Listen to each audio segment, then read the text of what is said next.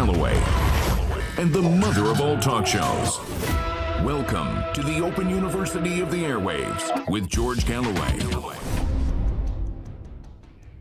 A week's a long time in politics, as Harold Wilson famously said, and Joe Biden and Boris Johnson have just found that out all over again. All it needed in the United States was a Supreme Court judgment that has unleashed the terrible firepower of the liberals in pussy hats in every corner of the Union over the Roe versus Wade abortion row. A new culture war battle that the Democrats will hope will at least mobilize their natural supporters to the polls in November.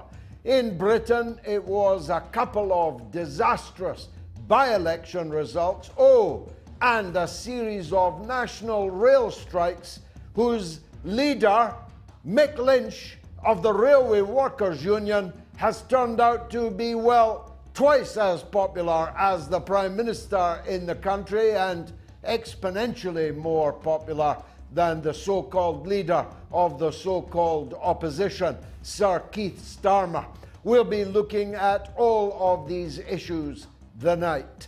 And we'll be looking at Ghislaine Maxwell's case as she faces up to 30, maybe 50 years incarceration for her filthy crimes. We'll be talking to one of the very first victims of the Epstein Maxwell gang. And we'll be looking at China and Russia and the BRICS as they wrap up their successful summit with a new application by Argentina this time to join the original framework. And of course, no show would be complete without a tour de horizon of the disastrous NATO war in the Ukraine. So, this is the mother of all talk shows. It is the Open University. There are no tuition fees, but I'll be asking you to donate via Super Chat if you can, so that we can get the midweek mother of all talk shows back on the air. And as a first priority, getting our podcast back up and running. It was once a chart breaker in almost every country in the world. We had to close it down with a heavy heart. We want to get it back up with a spring in its step. So fasten your seatbelts. It's going to be the usual bumpy ride because, hey, it's the mother of all talk shows. Curious about our curriculum? Have something to say? Then call us now to join the debate on the mother of all talk shows. The only education you can get for free.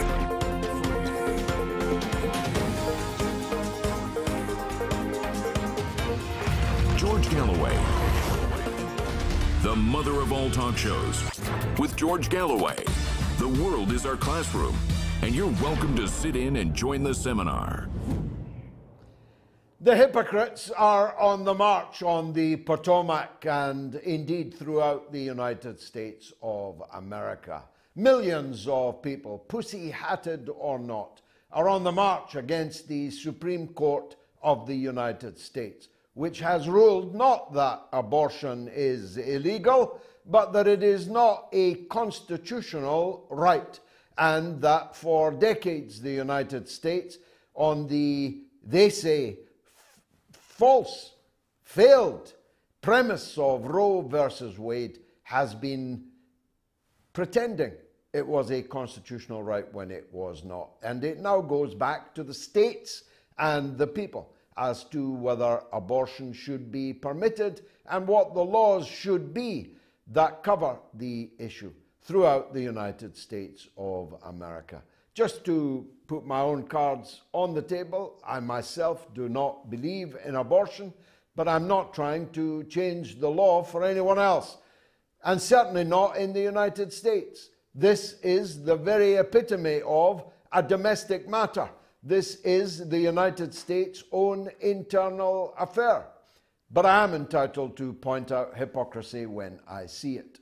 Because amongst the pussy hatted liberals and Democrats that are marching for the right to choose are, first of all, an overwhelming number who denied that right to choose to millions of Americans when it came to the forcible vaccination against the coronavirus.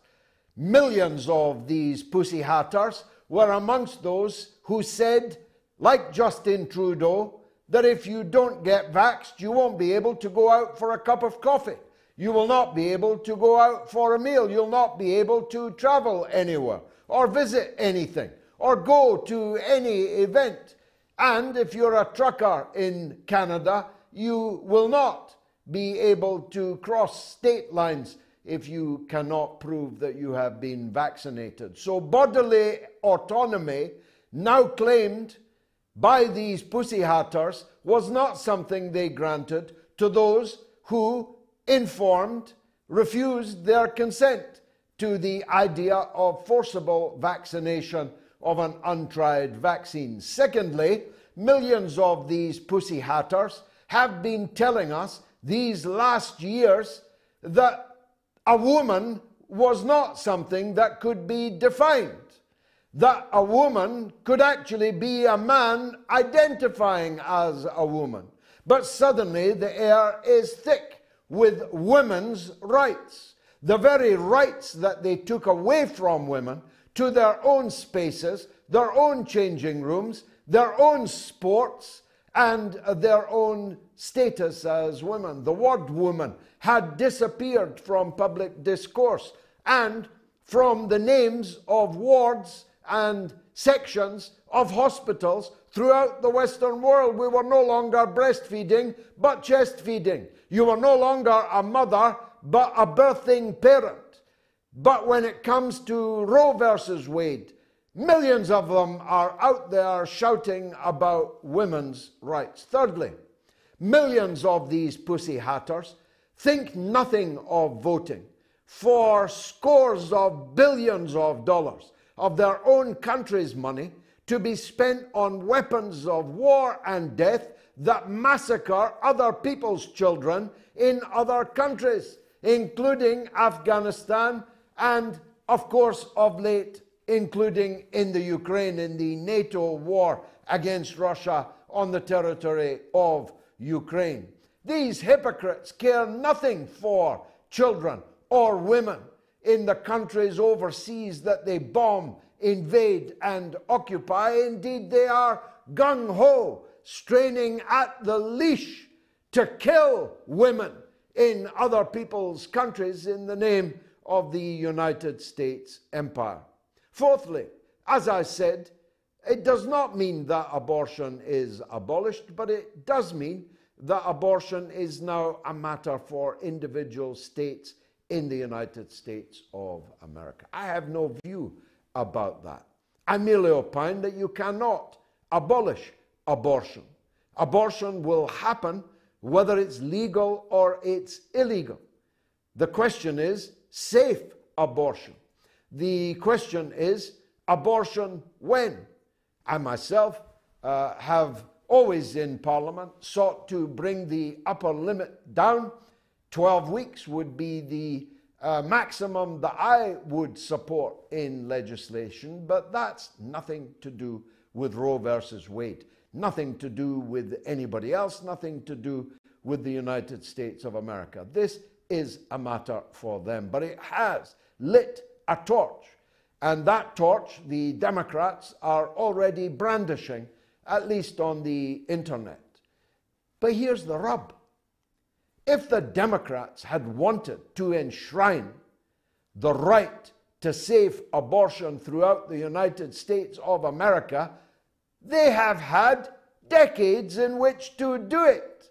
They had the political power with which to do it.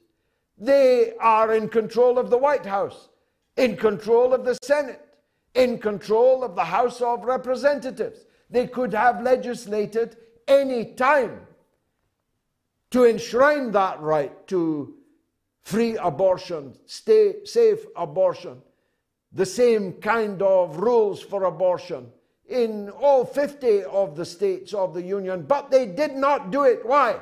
Because they are hypocrites. President Joe Biden is forever brandishing not torches but candles on his knees in Catholic churches, forever reminding the electorate that he is a Catholic of Irish extraction, after all. But unless things have changed, the Roman Catholic Church is completely opposed to abortion. And guess what? So was Joe Biden in the 1970s at the time of Roe versus Wade.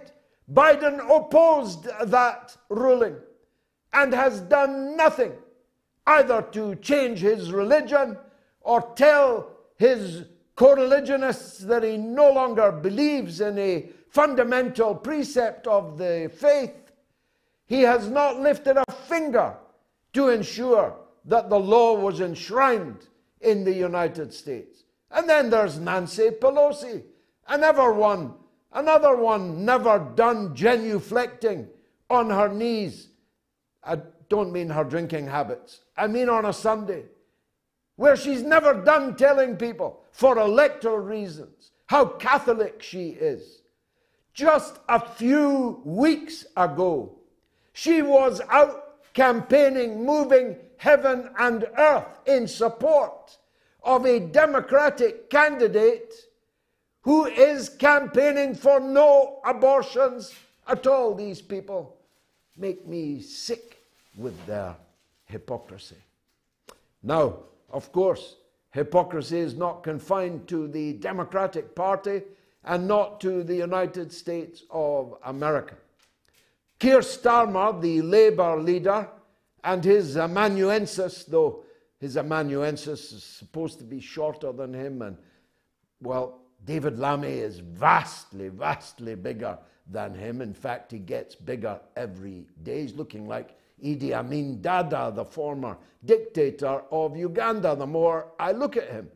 Both of them are out today saying they could not possibly countenance Labour members of Parliament standing on picket lines even though pictures quickly emerged of both of them standing on picket lines.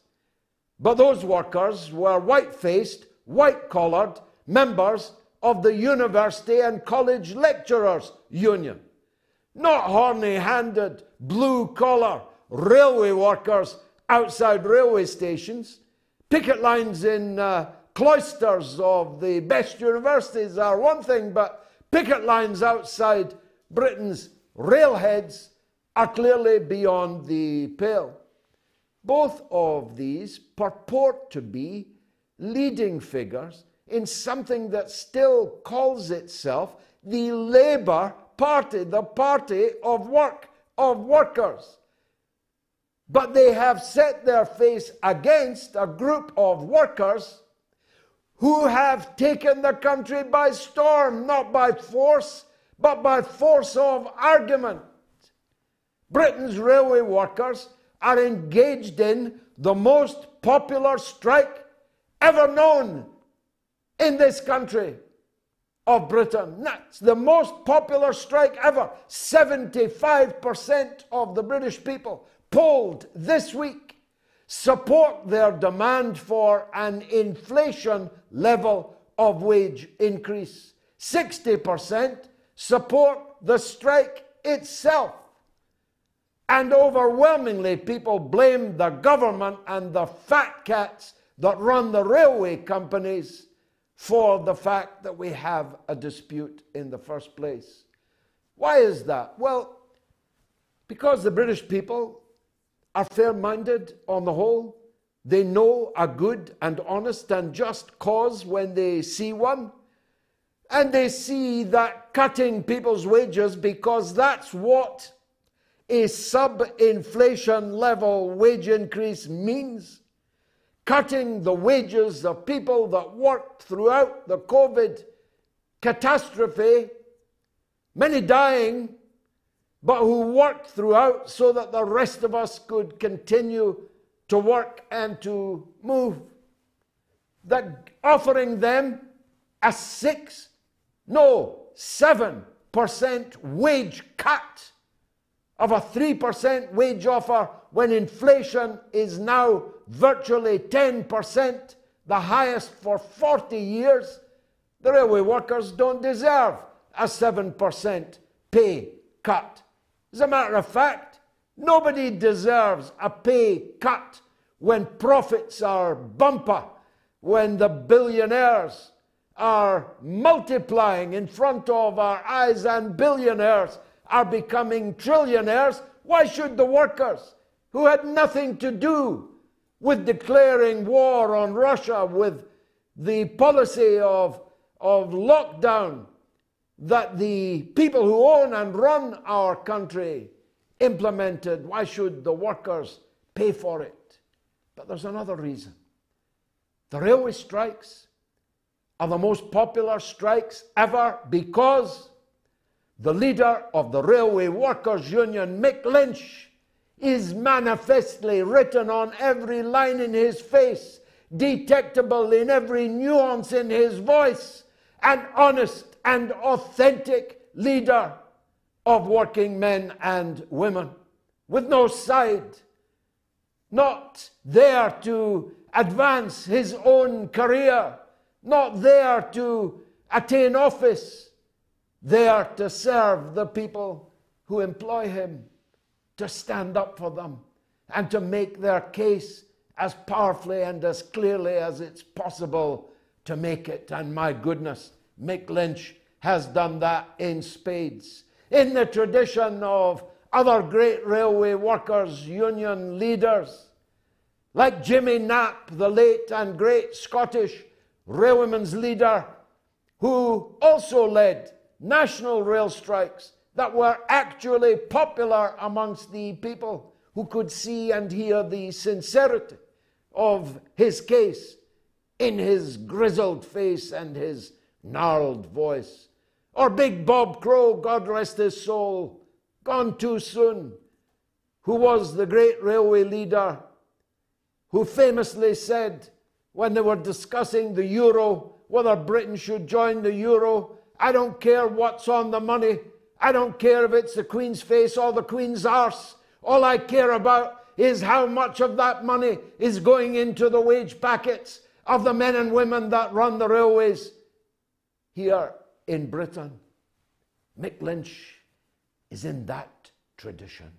No nonsense, no flannel, no spin, just truth, just facts that he drives home in every television interview that he is given. It's said that the television interviewers are threatening to go on strike unless they are protected from having to interview Mick Lynch. It is said that Tory government ministers are begging central office not to put them up on the studios against Mick Lynch. Turning as I must because I have spoken too long to Boris Johnson. Boris Johnson faced two catastrophic by election defeats one to Labour, one to the Liberal Democrats on Thursday, and it has created an earthquake inside the ranks of the Conservative Party. He didn't feel it yet because he took particular care to be out of the country when the results were announced. Where else would he be but out of the country? Whenever there's any trouble, he's in Kiev, Kiev, giving away even more billions of British taxpayers' pounds that are desperately needed at home that could solve the railway dispute like that. He'd rather give the money to the clown, Zelensky, in his disastrously losing war against Russia in the Ukraine. Boris Johnson, he'll go anywhere, even Rwanda, even Kigali, rather than face the music back home in Westminster, in London, because that music is increasingly a crescendo of calls for him to go. Now the familiar problems endure. Nobody wants Boris Johnson's Conservatives. but they don't fancy Rishi Sunak's Conservatives either.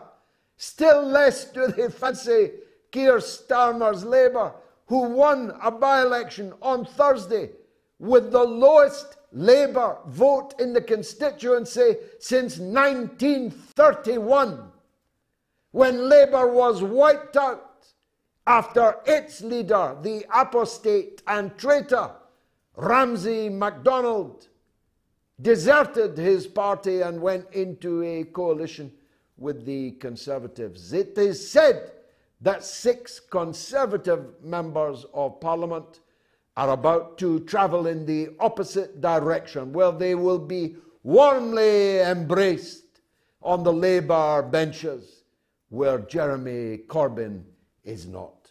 Corbyn opened up this week about the role played by the intelligence services, the security services, and the British military in his downfall. And we'll be talking to the hottest journalistic property on this side of the Atlantic, Kit Klarenberg, about that during the first hour of this show. I told you it was going to be a bumpy ride, so make sure those seatbelts are fastened because this is the mother of all talk shows. You know, and it's a very thank you for you know. I, am a big fan of your show, Gigi. Great, great debate, great. And I'm Scottish. I'm very passionate about what's happening there. You know, I had a great mom. She was Scottish, Mary McLeod. She taught me well. She taught me well at everything, including golf. I love Scotland and I love the Scottish food. It's great food. I said to Melania, you know, haggis. Look at that. What's more than more Scottish than that? Me. I am that haggis. She said, What, thin skinned and full of crap? You are listening to the mother of all talk shows with George Galloway.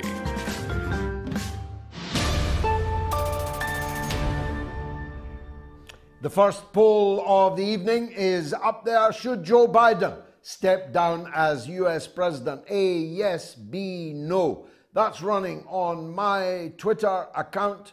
Uh, that's the one that is falsely stamped Russian state affiliated, about which they're about to hear still more from me in the courts in Dublin very shortly. And on my YouTube channel, finally, thanks to all of you, I've reached 200,000 subscribers on my YouTube channel. I don't know if I'll get the silver plaque I should have got when I reached 100,000 but didn't. But who cares? 200,000 was my target, and I thank each and every one of you. Uh, that's my YouTube channel. Do subscribe. And my Telegram channel, which is t.me forward slash George Galloway. You can vote on all three of those platforms. Now, uh, the Fighting Fund is coming in fast. Thank you for that. Zook Zookski donated five pounds, says, Good evening, George Zook. Good evening to you, and many thanks as always. Dino Pantelukas donated $4.99, his weekly contribution. Solidarity from New York. Thank you, Dino. God bless you. R. Sultani donated £1.79. Gemma Jane Brooks donated £1.79. Albert Sontag donated US dollars 35. Thank you, Albert. Linda Petit donated 10 British pounds. Thanks, Linda. And MGTOW Gem donated Australian dollars, $7.99. Philip Hall donated five pounds, and he says they might temporarily win with an information war, George, but they can't win a knowledge war. Thank you, Philip. And Dan Z donates 10 US dollars, says Sir Gigi, thank you for all the work you do. Well done. I couldn't do it if it wasn't for you. Please, everyone, spread the word about the mother of all talk shows because we have the highest quality of guests and calls and some half decent rhetoric from yours truly. Mubarak Mugabo is a journalist and a scholar, a Don Fang scholar. He's an expert on China and he joins us now, I think, from Uganda. Uh, Mubarak, uh, thank you very much for joining us. sorry uh, to keep you waiting. Um, you are in Uganda. I won't ask you about Thank you, Uganda, Judge. though there's much I'd like to. Uh, I want to ask you first about the BRICS. The BRICS, uh, which is a rival, you could say, to the G7, although if you add all the economies of the BRICS, they're much bigger than those present at the G7, which contains such titans as Canada and Italy, whereas the BRICS is uh, Brazil, Russia, India, China, South Africa, uh, and next time, probably Argentina. Uh, you, as a scholar, were looking at the BRICS, I'm sure. Uh, what did they achieve with their uh, annual convocation?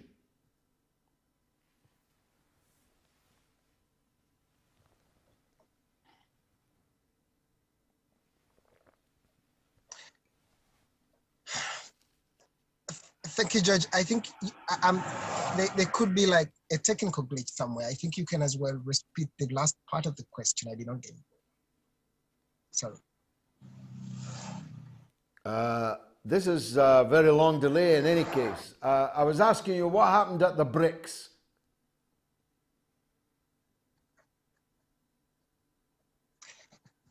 Well, uh, the the the the BRICS, as as you all you have put it quite clear, it's it's it's it's an organized, it's an association of uh, five major developing economies and emerging economies that uh, chose to come together and create an alternative of the existing international order that is majorly controlled by the West, the United States, and uh, its allies.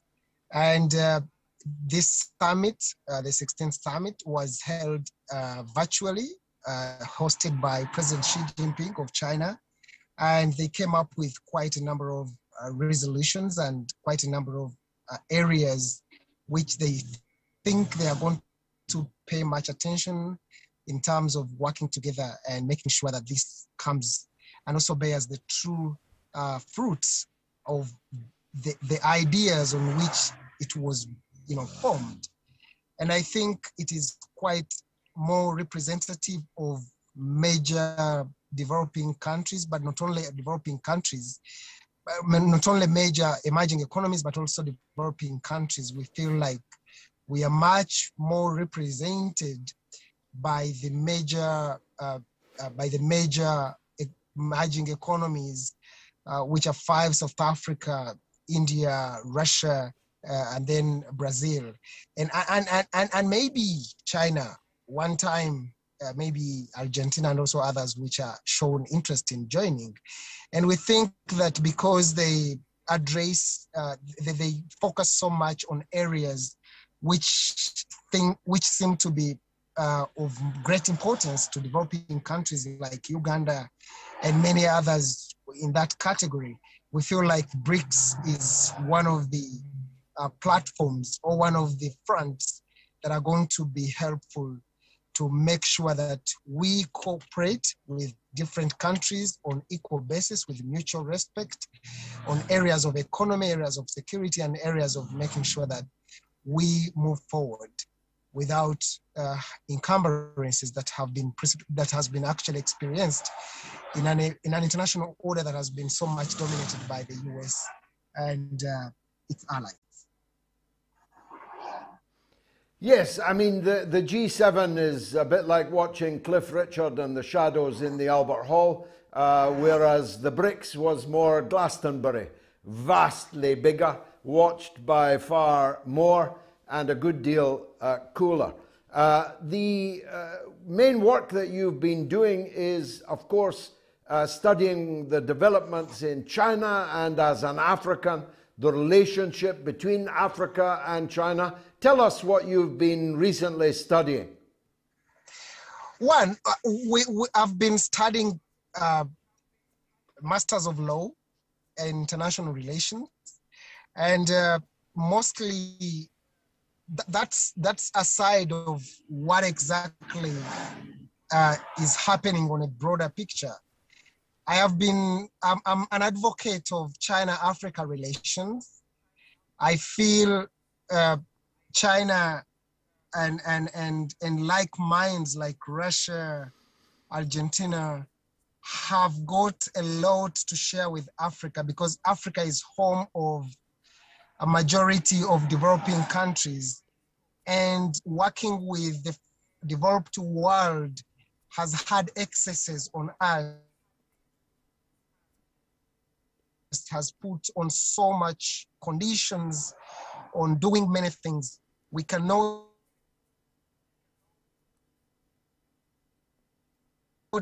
explore our potential. Actually, we're, we're I think. Uh, in other words, we are yeah. not allowed.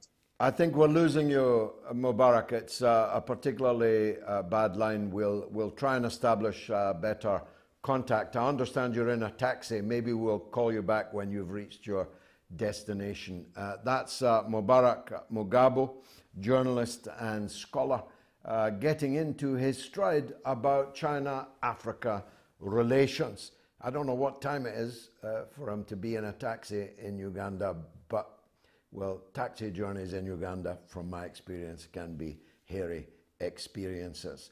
Uh, now, should Joe Biden step down as US president? Uh, A, yes, 85%. B, no, 15%. Bad news for old Joe. Uh, on YouTube, it's yes, 87%, no, 13%. And on Telegram, it is even worse news, Joe. Yes, 93% of the people on the Telegram poll think that Joe Biden should step down no 7%.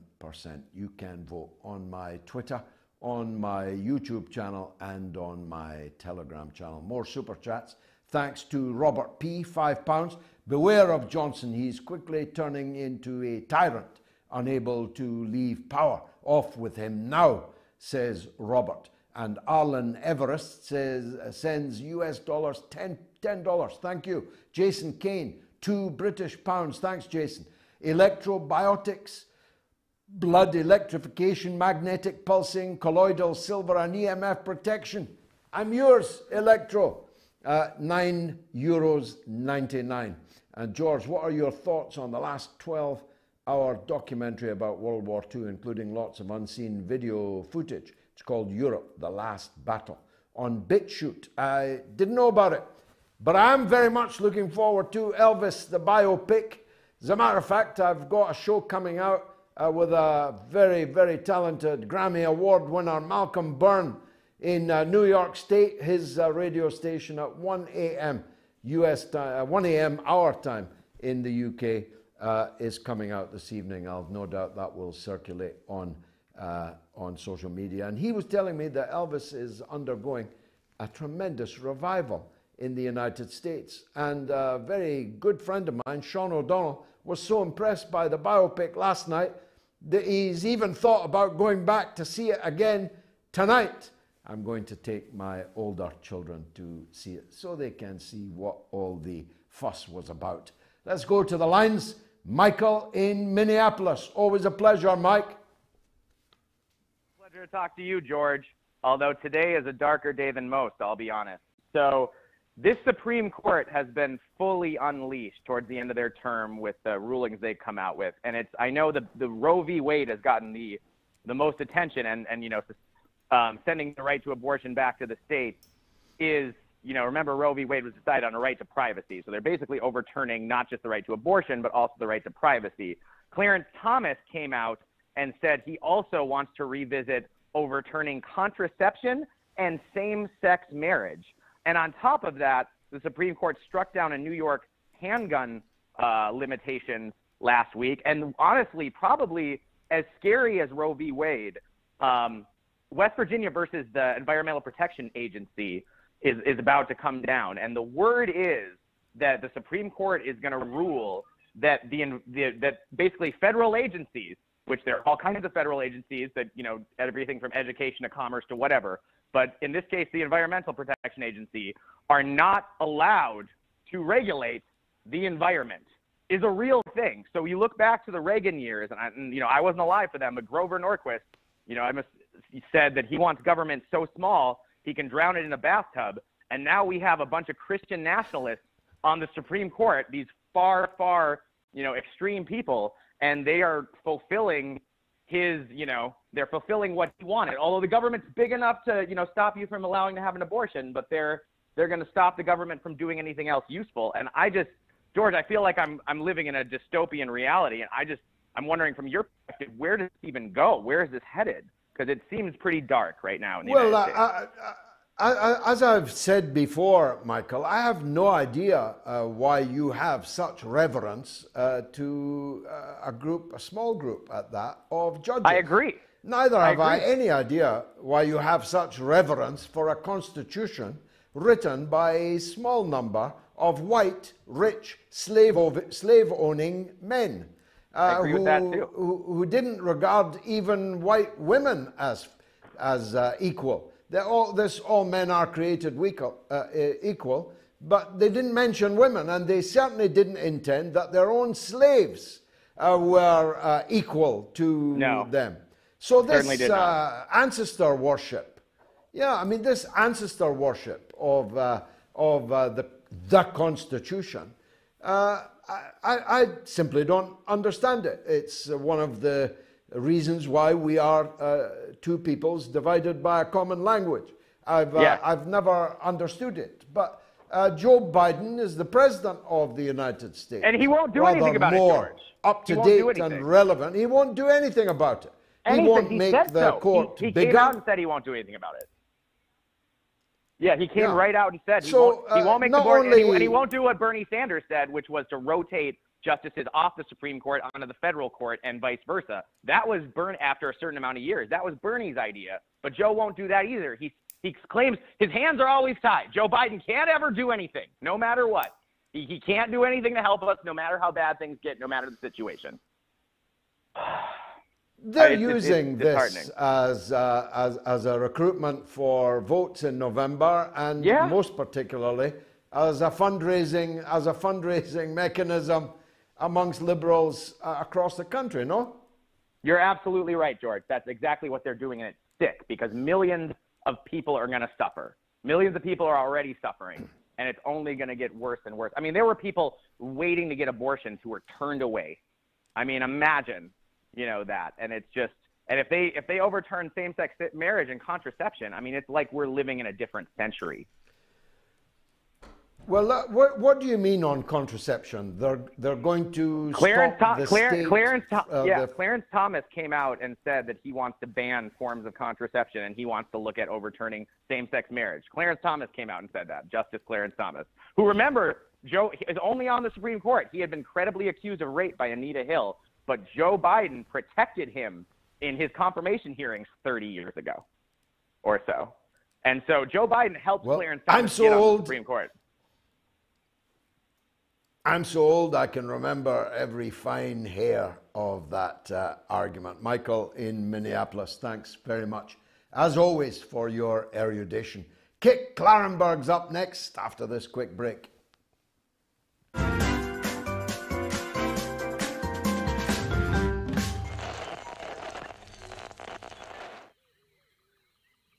The airwaves. This savannah is a rigid dichotomy of fact and fiction. As Fisher says, the Twitter sphere where the slightest misjudgment can spell being cancelled. One species rules over the airwaves through its ability to adapt and survive in even the harshest environments the George Galloway.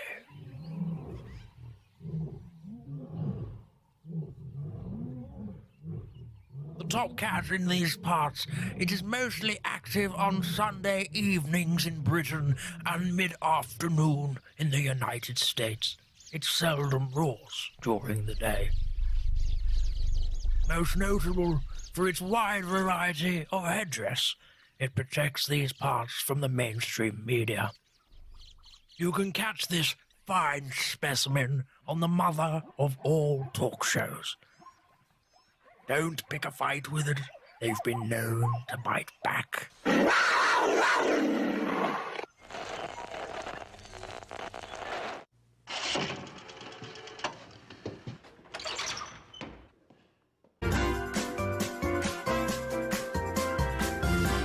Are listening to the mother of all talk shows with George Galloway.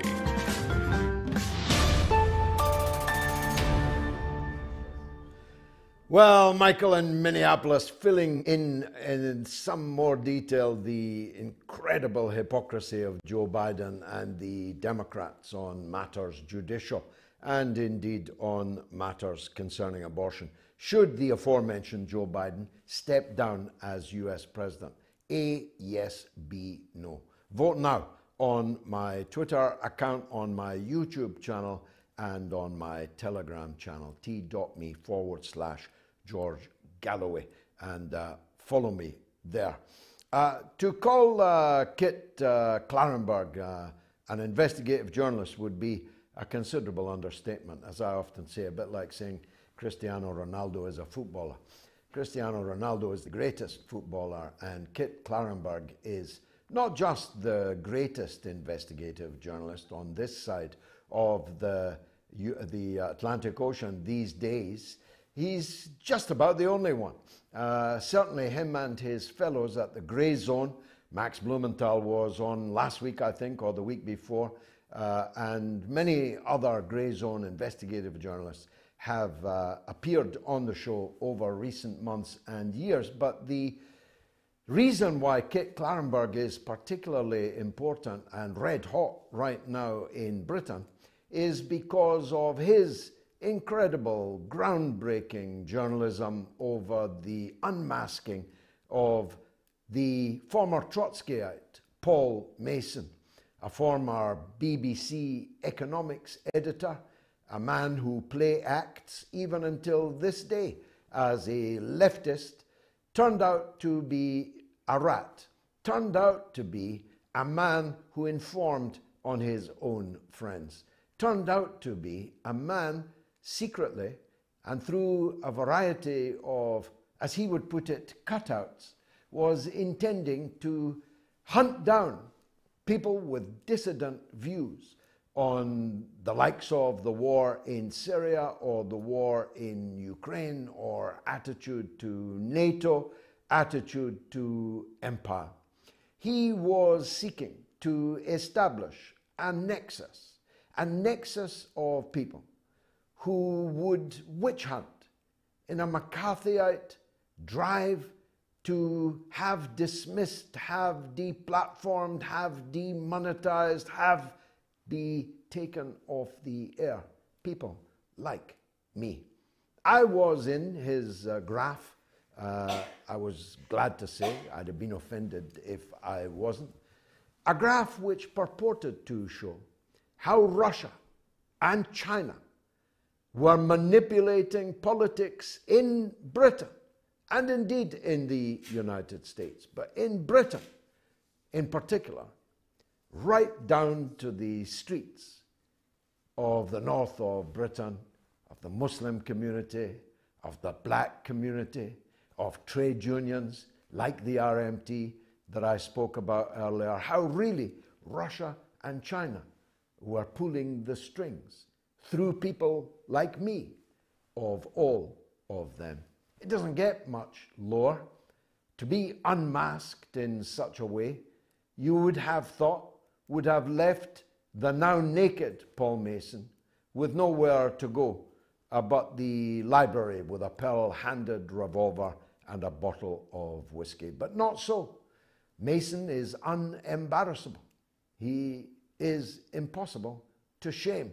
Let's see if we can find out more from the one and only Kit Klarenberg. Kit, thanks very much for uh, joining us. Before I turn to Paul Mason, you wouldn't expect me not to. Uh, I just wondered if you'd seen the interview uh, with the excellent chaps at Declassified that Mason couldn't quite work out whether they were Russian puppets or not. Uh, Jeremy Corbyn gave an interview with them in the week in which he made some quite startling, not surprising, uh, but quite startling and shocking uh, revelations about the role he thought that the security services had played in his downfall. If you saw it, tell us what you thought. Well, I mean, yes, um, I, I, this was an absolutely extraordinary interview. Uh, although I will preface this by saying it's extremely disappointing. Jeremy seemingly hasn't found his voice until now. Yeah, this is well over two years after he stepped down as leader. This is almost two years since he was egregiously suspended from the Labour Party for the high crime of telling the truth about the non-existent anti-Semitism crisis, which he allegedly presided over. And bizarrely, he seems committed to returning to Parliament as a Labour MP. You know, being reinstated by a party that not only wronged him and his supporters uh, but continues to do so brazenly. You know, the, the party as it stands now uh, is a bunch of you know a ragtag bunch of Tories and New Labourites committed to purging Labour of any and all meaning and principle in pursuit of a centre centre, right middle ground, uh, which they're never ever going to appease. I, I, mean, you know, all that said, uh, Jeremy was unprecedentedly candid uh, in a way I, you know, no other former party leader I can think of in history has ever been before. I think uh, you know, he confirmed what many of us already knew, but added absolutely vital new detail to, to what did happen to this wide-ranging establishment plot at every level to sabotage him and his leadership and ensure that hope for millions of oppressed people within Britain, you know, and indeed abroad, was just comprehensively crushed. You know, this involved the military elements of the Labour Party, the, the Israel and Gulf lobbies very prominently, and the, uh, the, the, establishment media like the Guardian um, and the security intelligence services. They were all arrayed against him uh, and everything he represented, and were willing to go to almost any length to ensure uh, to uh, ruin his electoral chances. Um, the, the intelligence services were briefing against him in private. They were setting up traps for him to fall into. So they invited him for a kind of routine briefing, um, MI5 and MI6, at their offices on on the terror threat. And this was framed in the press as uh, you know him having to be brought to heel because he was such a threat to national security. You had former um, you know uh, you know both on and on, off record uh, senior intelligence um, uh, officials like Richard Dearlove saying that you know sort of casting aspersions as to whether Jeremy Jeremy Corbyn was a you know Czech or Soviet spy. That yes, again that he was a threat to national security. That Britain would not be safe if he was in Downing Street.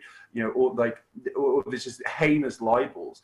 Um, and he remained silent at the time. Um, you know, I see that the Observer today said that Boris Johnson's continued um, uh, tenure in Downing Street was a national disgrace on the basis of his dishonesty, immorality, and corruption. We knew very well uh, who Boris Johnson was and what kind of government he would lead. Uh, you know, years in advance of him getting there. So I mean, it's a shame that it's a, it's it's a shame that they they they, they didn't see it as an incumbent to warn people more, and that they saw Jeremy as, as the greater evil. Um, you know, and I still you know I also find it you know completely incredible, uh, uh, as Jeremy said in this interview, that he didn't do proper due diligence into that snake in snake's clothing, Keir Starmer, and you know uh, identified what he, you know who he was and what he actually represented, which is you know the British establishment, the security services, and total prostration to the wills of the U.S. empire, as exemplified by his energetic efforts to uh, to lobby Swedish authorities to keep the completely bogus sexual assault charges against Julian Assange open um, you know, for the purposes of blackening his reputation and, um, you know, uh, the, the, offer, offering up more reason for him to get extradited to the US.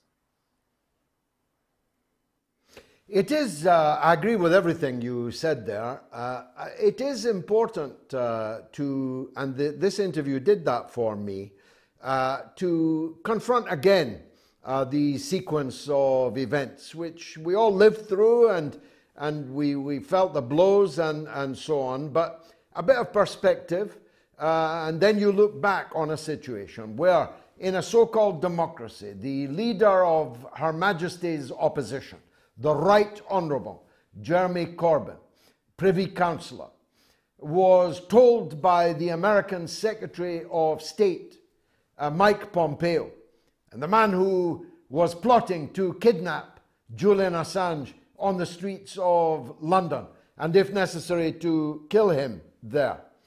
By uh, Benjamin Netanyahu, the Prime Minister of Israel.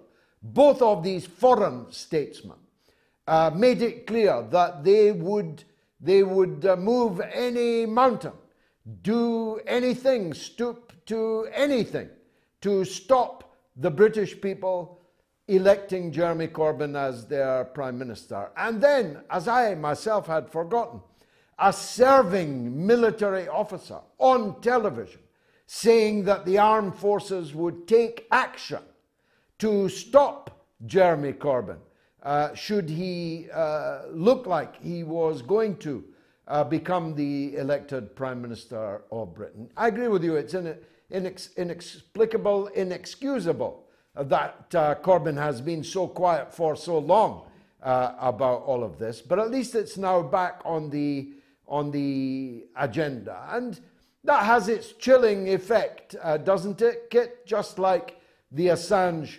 effect. Uh, if, if you think that you're going to upset the apple cart in British politics, uh, that you will be subject to what is essentially a coup and may not even escape with your life, you're much less likely to take a chance on doing that, aren't you? Yes, absolutely. I mean, and I think that that actually, I, I, mean, for the longest time, for well, for you know, two and a half years now, I have cited the you know experience of Jeremy Corbyn as Labour leader as, as a very clear example of the fact that Britain isn't a democracy.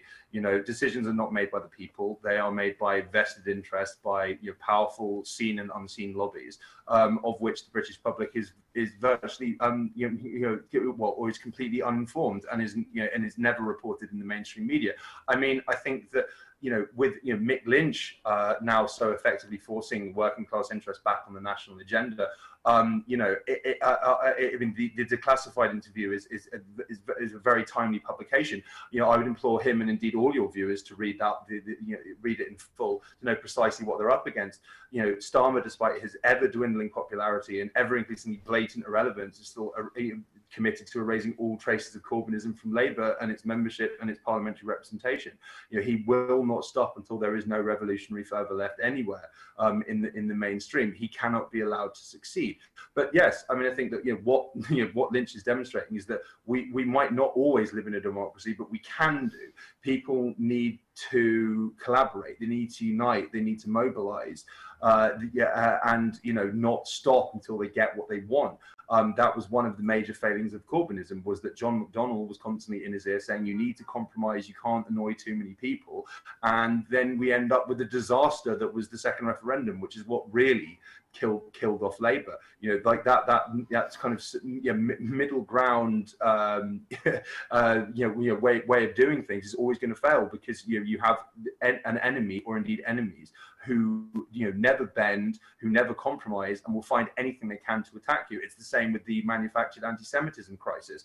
You know, uh, Chris Williamson, uh, the now former MP for for Derby North, uh, made you know, the, the, completely reasonable observation that the uh, the anti-Semitism, the, the charges of, of, widespread anti-Semitism in Labour were, were, were fraudulent, and in fact, actually, Labour had a consistent track record of standing up against anti-Semitism.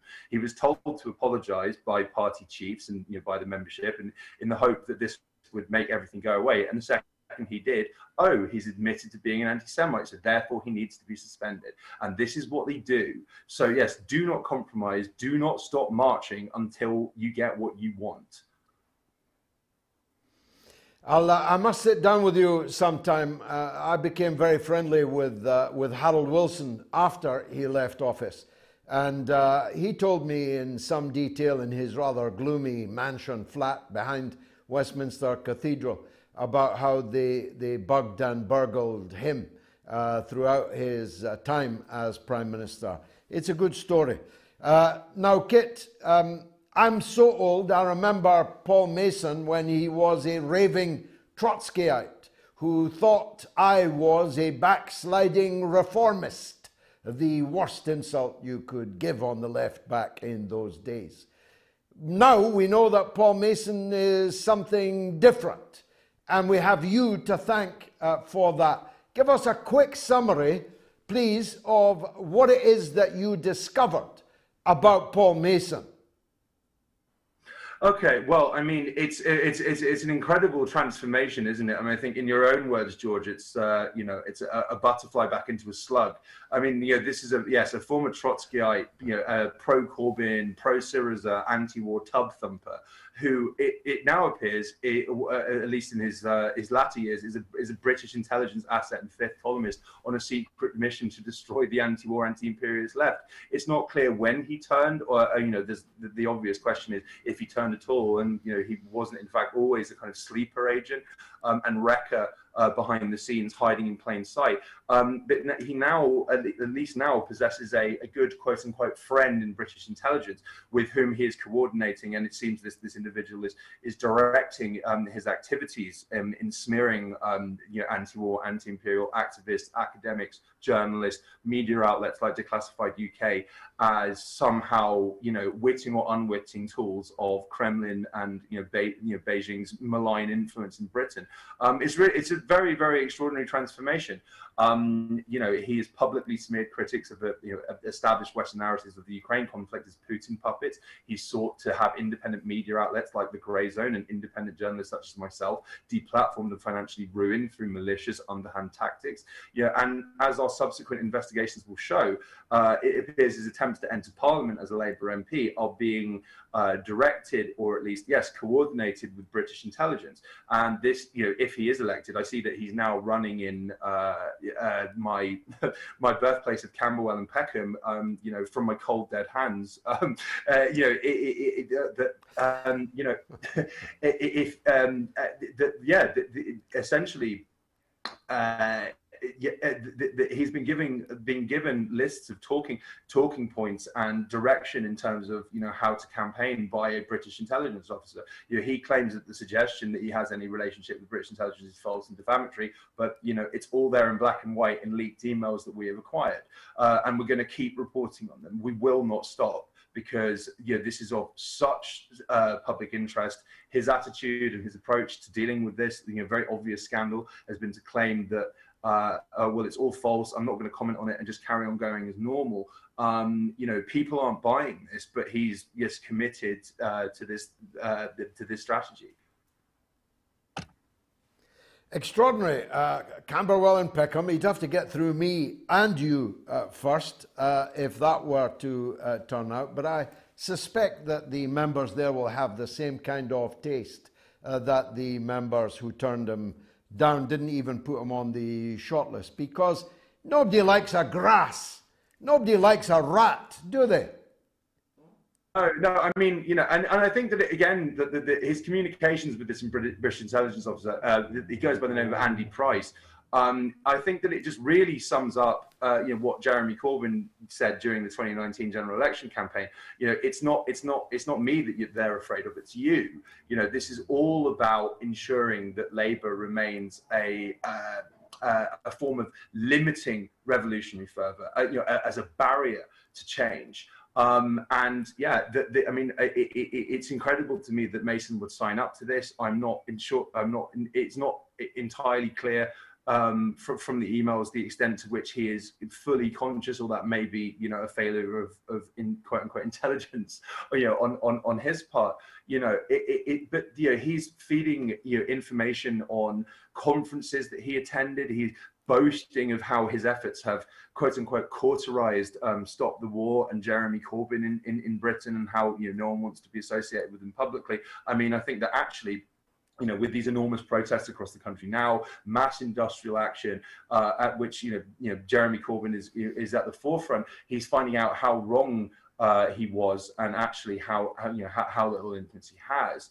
Um, and again, I just think you know the the there's that there's that there's that cliche which is oh well you know this this person wasn't sorry when when they were getting away with it you know mason was doing this for months you know in secret um, and then yes now his approach is to just to, just uh, try and cauterize it and say oh well this is nothing. I'm going to carry on and i'm not going to comment on it. Um, he, ca- he can't be allowed to get away with this. It's really really really shocking. I mean, we already have a Labour Party that is led by an individual, yes, the, the aforementioned uh, snake Keir Starmer, who is you know up to his elbows in the security intelligence services, uh, quite clearly played some role in shutting down um, official investigations and criminal prosecutions of intelligence officers who were intimately embroiled in torture and extraordinary rendition. And so, I mean, there's, a, there's, there's the open question, isn't it? Like, how many more effective assets and agents are being run within the Labour Party directly by British intelligence? This is, you know, our reporting on, on Paul Mason represents you know, yes, just just one tranche of leaked emails. Quite quite how many others are on the payroll or are being managed and, and directed is an open question. Kit Klarenberg will be following your work, of course, with intense interest on the Grayzone. And uh, follow Kit on, uh, on Twitter. Also, he is a font of powerful and important information. Thanks for joining us on the mother of all talk shows. Should Joe Biden step down as US president? Yes, 86. No, 14. Yes, 88. No, 12. Yes, 93. No, 7. It's getting worse for Sleepy Joe uh, Biden. After the break, we'll be talking with the one and only Garland Nixon on this Roe versus Wade and the Supreme Court and the American Constitution and so on. And we'll be talking about the rail strikes and Boris Johnson uh, with the one and only Mark Seddon. Here are the phone numbers if you want to join in. If you're in the United Kingdom, remember the calls are completely free 08081 965522. And if you're in the United States, also toll free, cost you nothing at all, plus 1 844 944 3344, or email us on air at moats.tv. Mike Pepper donated £10. Thank you, Mike. And he says, I may go hungry for a day, but it's a small price to pay. God bless you, Mike. And uh, David Pierce donated £2. Kathy from Iowa donated US dollars five. Jonathan Corson donated two pounds, says midweek moats and midweek moats, bring it back. And based Tanky donated US dollars 10. And he says, or she says, our only hope here in the US is Dore 24. Thanks for all you do. And right behind Jimmy Dore, why should Zelensky be the only comedian in power? Now, uh, Paul Unsworth, by the way, I didn't mention him, donated five pounds. God bless you. And Remborn, a regular now, donates every week. He donated 50 British pounds. Remborn, I take my hat off to you, sir, or madam, whomsoever you are. Now, don't accuse me of not being fully behind the railway workers. I addressed the annual conference of the National Union of Railwaymen, as it was then called, more than 40 years ago at their annual conference in St Andrews in Scotland. The theme of my speech was regeneration. Then, not really a word as much in use as it later uh, became in not the most salubrious of circumstances. I talked about the natural phenomenon of how when you damage a twig, it regenerates. And I was lecturing the National Union of Railway Men on the need for the labour movement to regenerate. 40 years on, it is the Railway Workers Union that is itself regenerating faith in trade unionism in an alternative to how Britain is. I took a trip down the railway. Here's what I had to say.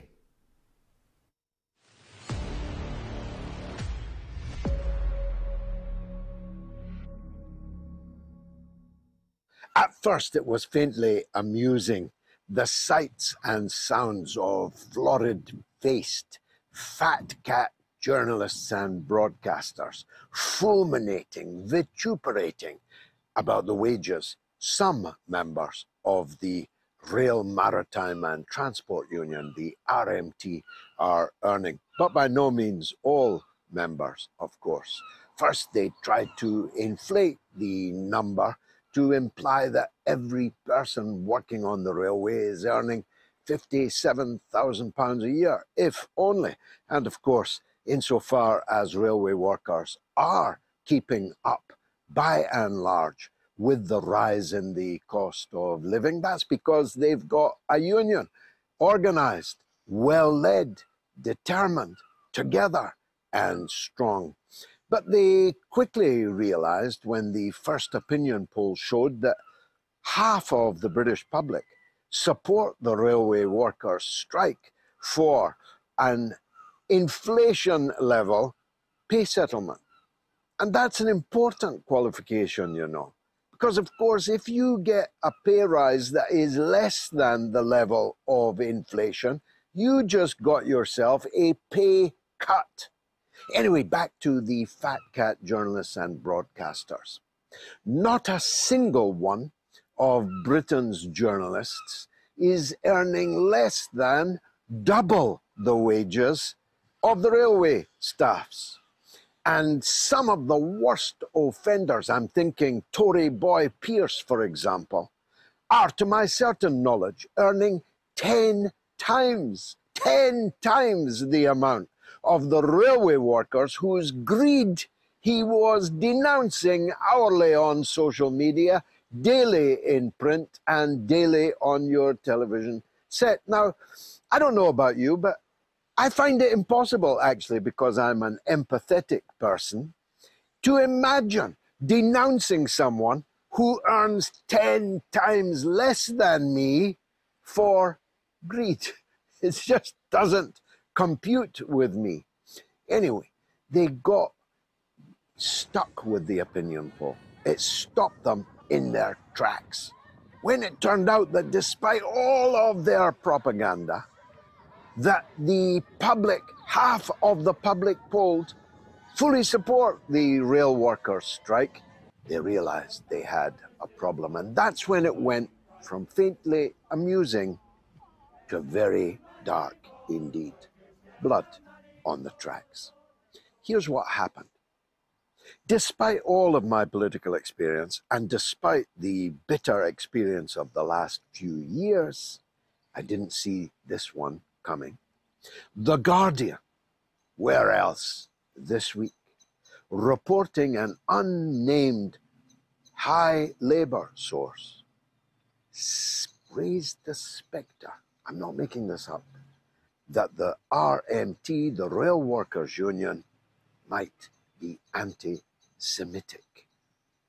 Keir doesn't think Mick Lynch, about whom more later, the RMT leader, is himself anti Semitic, but Keir thinks he has to explain how the RMT has become a quote, unsafe space, unquote, for its Jewish members. This one bowled me over. I, I really didn't see it coming. I knew that this so called Labour Party was a debauched, degenerate, caricature, disfigured, distorted version of a Labour Party, but I never thought that even a Labour Party that had banned its MPs from joining the picket lines of the rail workers and told its frontbenchers that they'd be sacked if they turned up on a picket line. I mm. never thought they would go that low.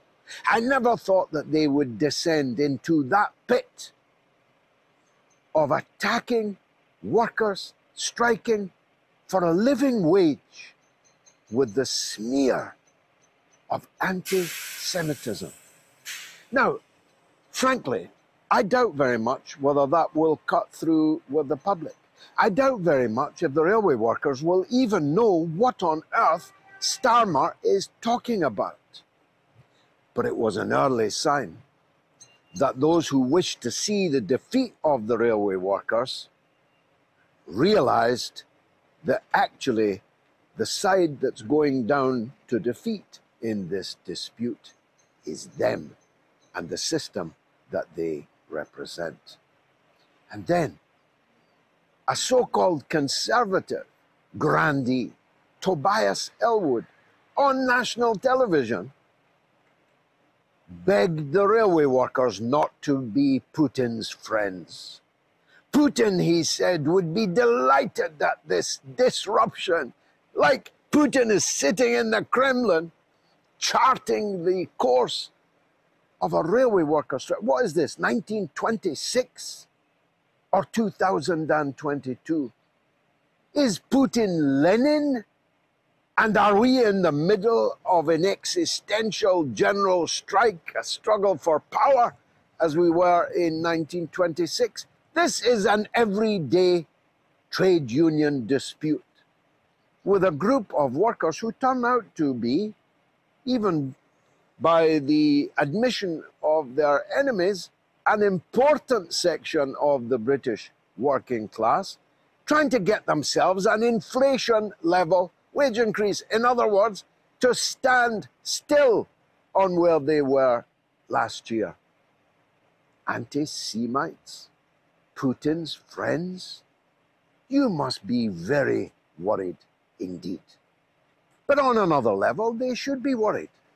Because if the railway workers win, that will embolden other sections of the British workforce to demand a wage increase that at least keeps them exactly where they were the previous year. It's not their fault that this week inflation in Britain reached the highest level for 40 years, 9.1% and rising.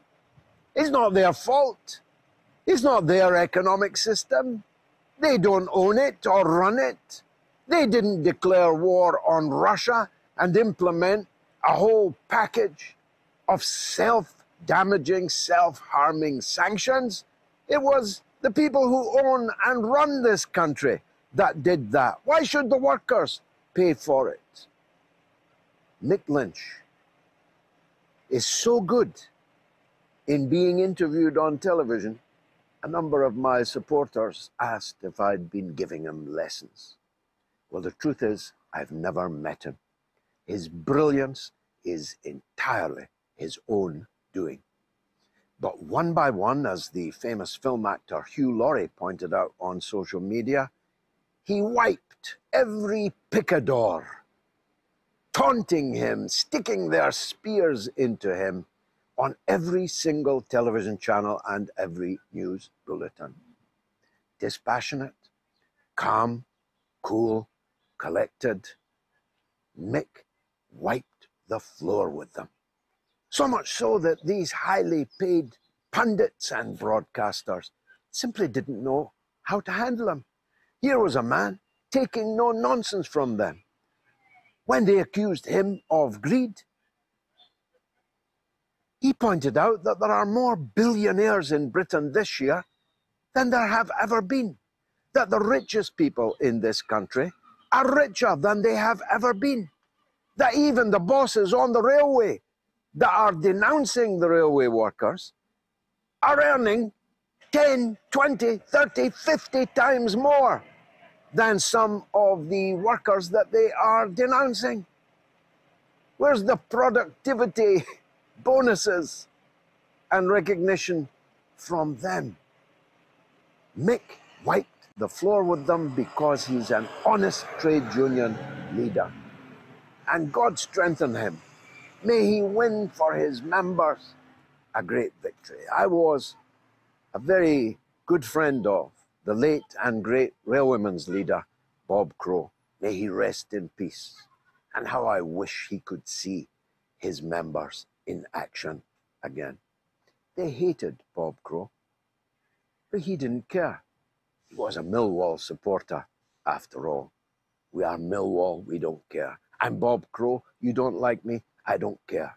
My job is not to please you. My job is to win wages and conditions for the members who elected me. Bob had a very clear attitude to money. I don't care whether the money has the Queen's face or the Queen's arse on it, he said. All I care about is how much of it is in the wage packets of the railway workers of Britain. God bless you, Bob Crow. God bless the members of the RMT, not just because if a group of workers are so important to the economy that they can bring it to its knees simply by not coming into work, if hundreds of millions of pounds are lost by the virtue of the fact they didn't turn up for work, then that means they're underpaid. That means we're not valuing their contribution well enough. Not just because I love the railway workers and the RMT, no, but because it's time that the working class got off their knees and stood up and demanded their rights. And that's all the RMT are doing. One day, because Nobody ever accused me of not being an optimist. One day, I believe, that all unions will be like the RMT. The all workers will be like the railway workers. And when that day comes, the world will belong to those who make it, who build it. It will belong to the workers. 99% of the people are workers. One day, this economy will belong to them.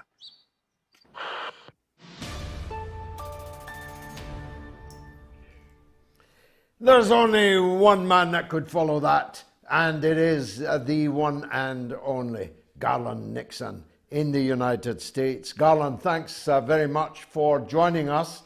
Uh, that's uh, quite a brouhaha brewing in the United States. Good old culture war keeps everyone's mind off the economy and the war. Tell us, how's it all going? Well, the um, the Roe versus Wade decision has been uh, very interesting in that in that number one, of course, jubilation in the Republican land and Republican Party. They're happy. They've been fighting for that, and they can argue that they have delivered something to their base. What is interesting is that um, there is a muted jubilation, uh, jubilation in the uh, leadership of the Democratic Party. Uh, they were uh, very concerned with uh, the upcoming midterm elections in November. It was pretty much clear that they're going to they're facing you know destruction of biblical proportions, and uh, and they were pushing um, the January 6th so-called um, you know attempt to overthrow the government. This was going to be their plan to save themselves from political destruction and that wasn't going well, obviously. And uh, interestingly, now the when when this when the decision was first made, Joe Biden went to the mic, and the first thing he said was, Roe is on the ballot. So now the Democrats see this as this is their way to save themselves in November. This is how this is the, you know, this is the path to maintaining some kind of majority. I don't think it's going to happen, but it's, you know, it's fairly cynical to see the Democratic Party saying, "Oh, we're woe is me, we're upset about this," and the other side of their face has a smile saying, "Hooray, we have something that we may be able to win without actually doing something for the working class." But of course, uh, President Obama and indeed President Biden could have enshrined abortion rights in law throughout the, uh, the Republic at any time, but they did not. Yes, that's the other problem that they're having, and I think that's going to grow. And that is that people who traditionally support the Democratic Party are starting to ask some um, uncomfortable questions. Uh, one of them, of course, being that in 2009, when Barack Obama took power, he had a veto proof majority, a filibuster proof majority in the Senate, so that he could have passed anything he wanted. We have the Taft-Hartley Act that a lot of us on the left were asking him to to address, which would um, have, have been very good for organized labor. He didn't touch that. Of course, a lot of people brought this particular issue up. He didn't touch that. In fact, Barack Obama said this was not one of his priorities. Add to this that in 2016, uh, Hillary Clinton ran with a guy, a senator named Tim Kaine, who was opposed to abortion.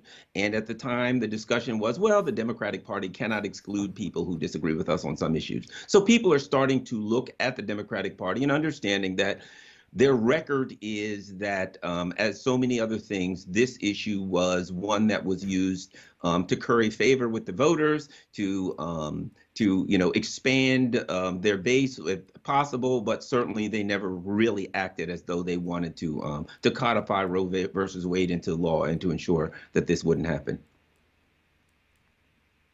And of course, Joe Biden and Nancy Pelosi are Roman Catholics in good standing. Uh, at least I often see them taking communion. Uh, and of course, uh, they have played footsie. Pelosi just a few weeks ago was out campaigning for a Democratic uh, candidate embroiled in a tough primary uh, who was uh, openly, like Tim Kaine, pro life. Yes, and George, I mean, um, uh, President Biden has stated, I personally heard him state that he was opposed to abortion, but that he didn't believe that the government should um, be in charge and should make the decision on a woman's body. And and you know that's all good and fine. Certainly has a right to that. But the I think what's going to hurt the Democrats over the next few months is that they are now taking the position that they have always and will always be um, in favor of Roe versus Wade, and that they will do anything they can to assure that the a woman's right to an abortion is um, preserved. But their history does not support that argument. And that's what they're running into now. The questions, the videos, the comments that have been made are starting to catch up with them. And uh, Biden has just said he doesn't favor uh, enlarging the membership of the court, uh, which he could do. Uh, and Sanders, for example, his idea of rotating uh, the membership of, of, the Supreme Court, uh, he's set his face against both of those. Well, the fact of the matter is this the Supreme Court was created, the power, the authority to create the Supreme Court was given to Congress in the Constitution, but there was no um, specific uh, orders as to how it would be set up. So the truth of the matter is that Congress can set the Supreme Court up any way they want to. They can change it. They can make 100 people on it, or they can make one person. It doesn't really matter. It's not set forth in the Constitution. But here's the other reality the Democrats are arguing basically now, they're beginning to argue you must vote for us because of Roe versus Wade. It implies that in the event that they maintain or preserve or increase their majority in November, which they have little chance of doing any of those, but it, it, it, it implies that if that happens, that they will somehow act on this Roe versus Wade, codify it into law, and that'll be done. But here's the reality. If they do that, they're going to have to get rid of the filibuster in the Senate and then they can they can do it anytime they want if they have a majority. Well, here's the reality: they've got a majority now. So if they were going to do away with the with the filibuster and go ahead and codify um, Roe versus Wade into law, they don't have to wait until November. They could do it now. Now, they may argue that they have a couple people who won't go along with it, so they don't have the numbers. That's not going to change after November. So basically, it's, you know, cynically, it's kind of a vote for us because of Roe versus Wade as kind of a symbolic vote to show the Republicans that you don't like this, but you're not really going to get anything out of it and we're not going to change. It's more of the same. And I think that whatever fervor there is for supporting the Democrats right now in November, and there's not a lot, is going to die down even more as these questions become more prominent. Let's, uh, I mean, I, I, don't know what polling uh, exists, but given that nothing is ever as good or as bad as it first appears, and that's a lesson uh, I've learned in my life, uh, the decision of the Supreme Court is not to ban abortion, but to give to the individual states in the Union the right to have their own abortion laws. Now, the great majority uh, of the states will presumably continue the current uh, law.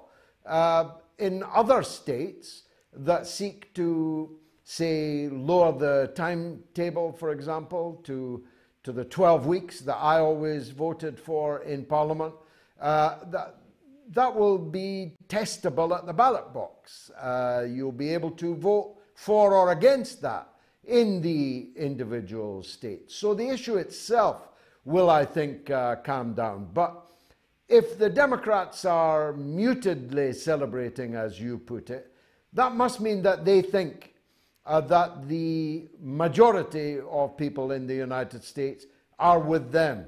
Is there evidence for that? Uh, seems to me the US is quite a religious country at its base. How does this issue play in Peoria?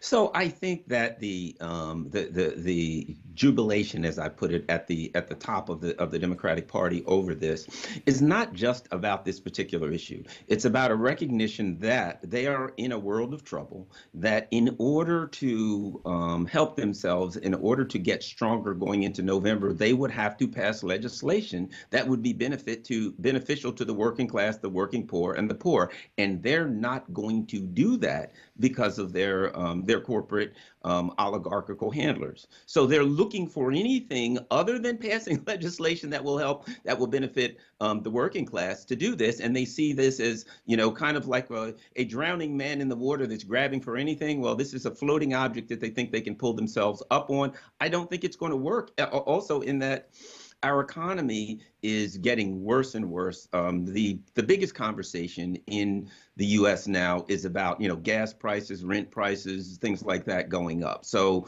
um, yes, it, there's going to be an initial splash here, but in reality, this is going to be about the economy. I do think um, it's going to be somewhat about Ukraine, which is inextricably linked to the economy because people are furious about the last $40 billion for Ukraine. And I, you hear that all the time on the streets as um, Americans, uh, you know, suffer economic woes.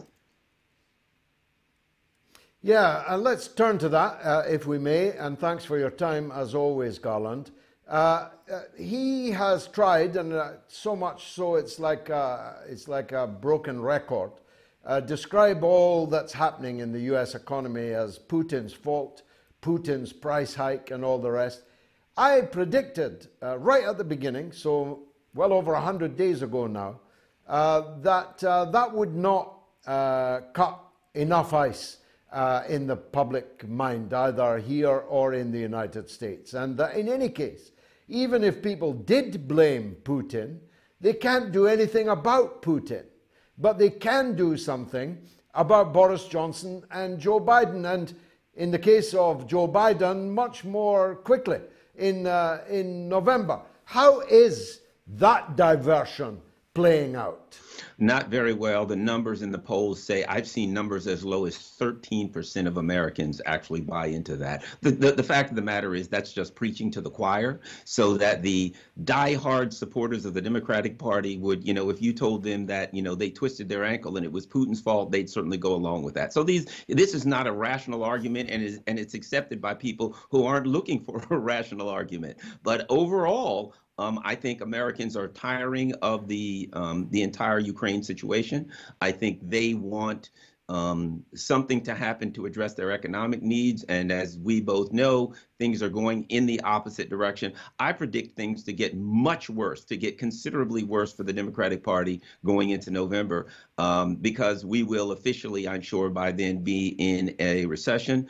Uh, another big uh, part of the conversation is that the Federal Reserve has raised interest rates in what is said to be an attempt to um, lower inflation. However, as many people have argued, um, inflation, the inflation that we're experiencing now is a result of uh, supply side problems. So um, uh, uh, uh raising the interest rates will only affect the demand and it will push us into a uh, into a recession all that much faster. So uh, I, the Democratic Party is in a world of trouble, and people want something to happen to address their economic needs. And that's the neocons are in charge. They really don't care about domestic policy. Roll on November. Garland Nixon, who guides us along the way on all matters American. Thanks very much indeed for joining us. I should have taken a break eight minutes ago. I'm happy to take one right now, just for a minute.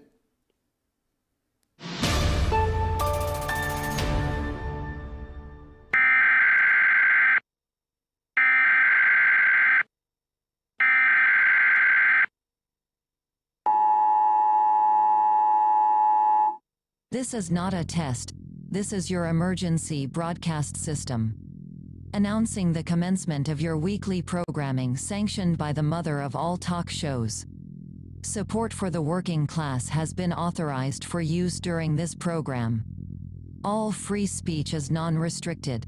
Moat's Legends of Ranking 10 have been granted straight-to-air status and shall not be harmed. Commencing at the siren, any and all free thinking, including socialism, will be legal for three continuous hours.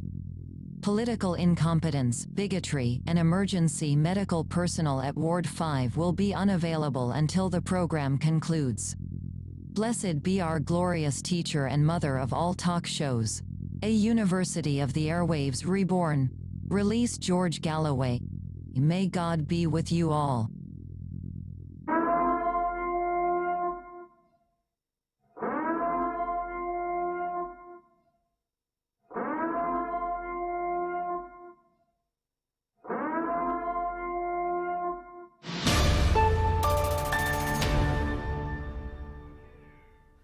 That's a new one. Haven't heard that one before. Release George Galloway. I hope the day never comes where you have to uh, say that for real. More super chats. Thanks for donating to the Fighting Fund. Lots to read Jenny BN donated five pounds. And she says Mason was allowed on TV too much to be a real lefty. And Karen Z donated US dollars five. Thanks very much, Karen. She says thanks for the continued education. And BAM XIRE donated two pounds. Congratulations on reaching the 200,000 subscribers on YouTube. Thank you for that. Uh, Jane Shone uh, donates £2.49. Thomas donated 5 euros. Look forward to my Sunday evenings these days. Thanks to both of you. Jason Stewart donated £4.49. Dear George, I went to see Elvis the biopic today and I was riveted as I am every week watching the mother of all talk shows. Thank you. Well, to be compared with Elvis is indeed a rare privilege. Uh, David Kelly uh, donates £20. Thank you for that, David. My film on another David Kelly uh, shows in the Copthorne Hotel in Newcastle tomorrow night. I shall be there. Anthony donated two US dollars and says, I love Garland. Not as much as I do, Anthony. Stephen Dixon donated two pounds. Braithwaite Bone Spurs Quackerbush IV donated 10 US dollars. George, always love your comrade. Garland is tops. Thank you. I think we should make Garland our weekly hit in America. Minion Mond donated US dollars 13. Unlucky for some, but lucky for our fighting fund. Joanne Nayeri donated 10 euros. Says Putin gets the blame for everything that happens in the world. He's a useful scapegoat, but I don't think he loses any sleep over it. Neither do I, Joanne. And GM donated a whopping 50 pounds. GM, thank you very much. Unless you're General Motors, in which case, why don't you sponsor the show? Thanks, GM. Let's go to the phone lines. Karen is in New York on Roe versus Wade. Go ahead, Karen. Hello, Mr. Galloway, and thank you for having your program and your format. Um, I, I, enjoy it so much. Uh, I, Always a pleasure. My comment is um, indirectly related to the Roe v. Wade decision. Um, I personally got a lot of pushback in recent weeks whenever people were complaining about the possibility of the decision that they got. I would say, why, if it's important, hasn't it been settled a long time ago? I think it's almost 50 years ago since that decision, and they just let a precedent hang and considered that decided law. But it, it wasn't, obviously. Um, the, uh, That's right. Uh, uh, and the Democrats have had uh, the supermajority to codify it and enshrine it in law, and they declined to do so because, as usual, they wanted to run with the hare and with the hounds. Right. So, uh, along those lines, so I, um, you know, I have my own personal moral prerogatives, but I would not want that to be a basis for someone else's decision. And I do believe in our society we need a government that's separate from religion. And to me, it seems like this should be a medical decision between a person and their physician. And it really doesn't need to go any further than that. It should not be, uh, we've never had success with trying to legislate moral issues. Uh, so I powerful point. Thanks. Uh, thanks. Yeah, go on. Last point. Go on. I checked into the healthcare problem in our country, which I didn't want, realize was a problem because if it reverted to just a medical decision, in the United States, we do not have a constitutional right to health care. Quite so. So it was something that. That's another thing the founding fathers never thought of. Karen, thanks. I must press on because actually the lines are red hot, as I expected they would be, and not least on this issue. Edward is in Oregon. Always a pleasure, Edward. Go on. George, I, I think it's it's important to uh, point out that the Supreme Court uh, is not intended to make law. The Supreme Court is intended to interpret law. Law is to be made by our legislators. If they don't have the gumption to stand up and actually take a stand and make law, then it is not the job of the Supreme Court to make law in their stead. And that was what Roe v. Wade was, was the Supreme Court making law, and it is not their job, and it, precedent be darned. Uh, it makes no difference what precedent is. What what does make a difference is what the law is, and the law says the Supreme Court is an interpreter of law, not a maker of law. And if you look at the map right now, they didn't make abortion illegal. Uh, it looked like to me more than half the states it's still legal. So someone might have to take a little drive to get an abortion, but abortion hasn't been made illegal. Well said. Thanks, Edward. Uh, made some of those points myself, but you've made them better. Uh, let's go uh, elsewhere. Well, my good wife Gayatri has a social media uh, update because I simply don't have the means all the time to collect all the social media that is coming in. What's rattling, Gayatri? Oh, hello. Good evening. Let me start with some responses uh, to the poll. John Mimi says, I'd actually prefer his state. The West seems to be heading into the side of a mountain at full speed under his leadership, Joe Biden. And Germa Mangesha says they can keep him in office if they want to fast track America's downfall. And uh, Michael Weir says, Mr. Galloway, as an American who did not vote for Mr. Biden, I find his presidency to be an unmitigated disaster, both at home and abroad. However, he hasn't committed treason. So being bad in office isn't disqualifying we will vote him, uh, we will vote his party out of Congress this fall and then him in 2024. How are you? I suspect that's uh, true, uh, but uh, if the Democrats had any sense, uh, they wouldn't have picked him. Now that they've picked him, they'd get rid of him as soon as possible because uh, to me, he is, you know, they said of Gerald Ford long before you were born, that he couldn't chew gum and walk in a straight line at the same time. Uh, and, uh, you know, Joe, Joe Biden can't even chew gum. Uh, his dentures would undoubtedly uh, come out.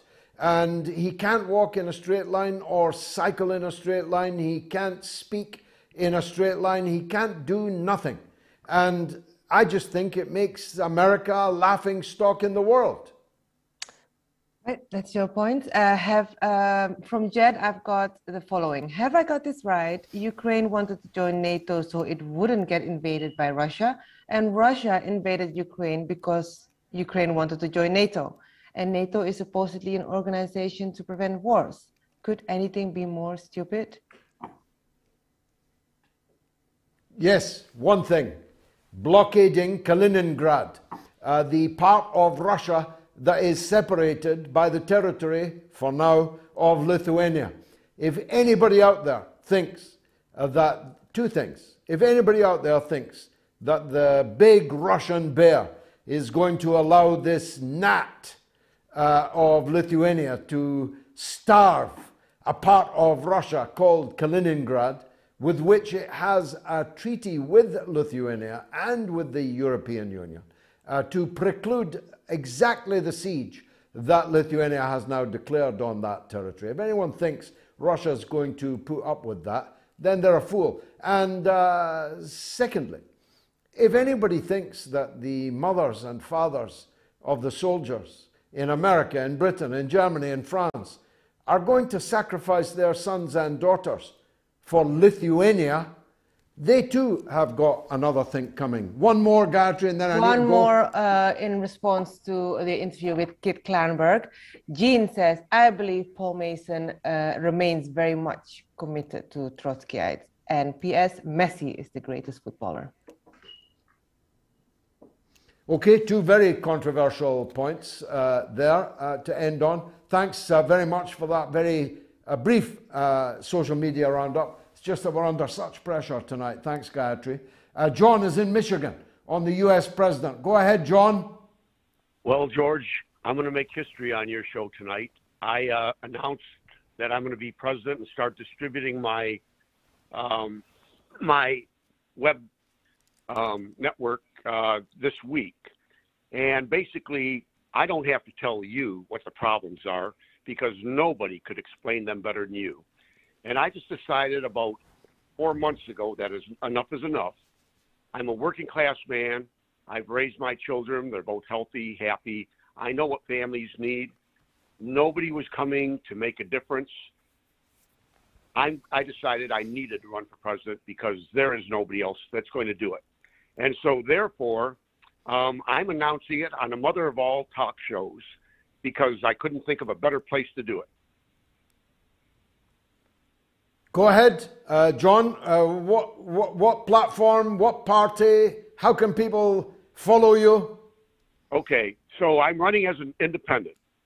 Um, and the and so it, it isn't so much just about me. I, I stand with 80% of the American people is, uh, in terms of what they want health care for all, a living wage, child care, child tax credits, and the list goes on. The polls show what the, the issues are. So 80% of all Americans, and especially progressives, already agree with my platform. But this isn't just about me becoming a president, but I'm doing that because if I can succeed to become president as an independent, I'm going to take my money like Bernie Sanders did, whatever's contributed, and instead of putting it into the coffers of the DNC to be distributed to corporate corrupted and oligarchy corrupted politicians, it's going to go toward building an independent movement. Well, I think that's admirable. How can people follow you? Are you on social media, John? Yes. Let me give you my website. It's J O N. My first name's John, J O N S T A S E F O R president 2024.com. Joe Stasi. Is Stasi your family name? My family name is Stasevich, but it was such a long name that when I developed the website, they figured Stacy. So J O N S T A S E, and then for president2024.com. And actually, George. Excellent, John. You, yeah. If you could really help me, um, at some point in time, I'd like to be interviewed to get into the detail. Obviously, in a short call, I can't explain my platform. Yeah. But you can see yeah, it on sure. my. We'll definitely, we'll definitely do that. We'll definitely do that. But my heart belongs to Jimmy Dore, uh, John. Uh, if he runs Jimmy Dore 24 for me. But I think it's a very worthwhile thing that you do, and I'm glad that you did it here. Thanks very much. There's his uh, John Spee, J O N S P E A S E 4 2024.com. There you are. You don't often get a campaign launch like that. Let me take a 60 second break, then I'm back with my good friend, Mark Seddon.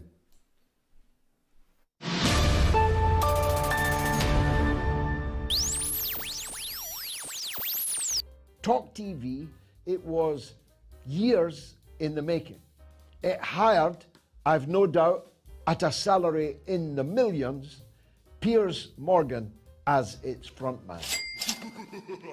It has completely flopped, like all of the sofa politics television in Britain.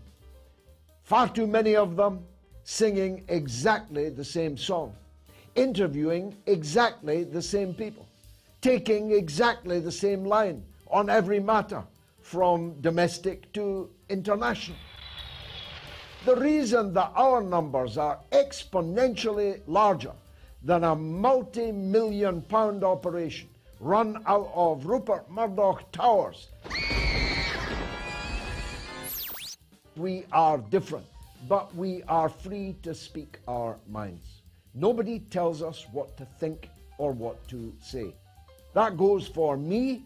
It goes for my far more interesting guests. Amongst English speaking people around the world, this show is completely unique. But it's an endangered species. Some people have been incredibly kind and generous, giving far more than we ask for. So if you are, and you know who you are, amongst those who've given really generously, then please take a holiday. Don't keep giving. Because I'm after that big audience and I'm asking you only for one dollar. Is this show not worth one dollar? You don't have to buy a license fee and get sent to jail if you don't to watch the mother of all talk shows. I'm asking for one dollar or one pound if you are in Britain, or one euro if you are in Ireland or elsewhere in the European Union. George Galloway and the mother of all talk shows. Join us at the College of Knowledge, where there are no tuition fees. Well, I'm afraid uh, the shades are closing on the first poll and on Joe Biden. Should Joe Biden step down as US president? Yes, 87, no 31. That can't be right. that adds up to a lot more than 100%. Uh, uh, so it's 87 and 13, not 31. And on YouTube, uh, 88 and 12, and on Telegram, 92 and 6. Thanks uh, very much if you voted on that. Now, the second poll's coming up uh, shortly. I have no idea at all what it is, but I'll announce it to you when it comes in. Super chats uh, coming in brilliantly. Philosophical Poet donated £5. Thank you, dear sir or madam. Otto Calvo uh, donated Norwegian crowns 50. Thank you very much indeed for that. And Andrew H donated £17.99 and says, could you give a shout out to all ASLEF members and solidarity with all striking workers, please, George? Indeed, Andrew, I have a long association, not just with the RMT, NUR, but also the Associated Society of Locomotive Engineers and Firemen that are otherwise known as ASLEF. In fact, I've got a centenary plate of theirs on my wall in my house that I was uh, presented by the late and great General Secretary Ray Buckton. And uh, of course, the, my own union, Unite, and its members in British Airways are also involved in industrial action now. Uh, health workers and teachers and many other sectors will all be greatly encouraged by the sense that this is not a strike, it's an uprising. There's an uprising going on in Britain. And heaven knows it's long overdue. It's a democratic uprising of people peacefully withdrawing their labour and showing their support for others that are doing so. And that's what can change the world. Don't you understand? That's what can change the world. And Kenneth Pola donated five US dollars and says, Could Putin exchange UK prisoners of war for Julian Assange? He could, but he won't and I don't think that the British would either.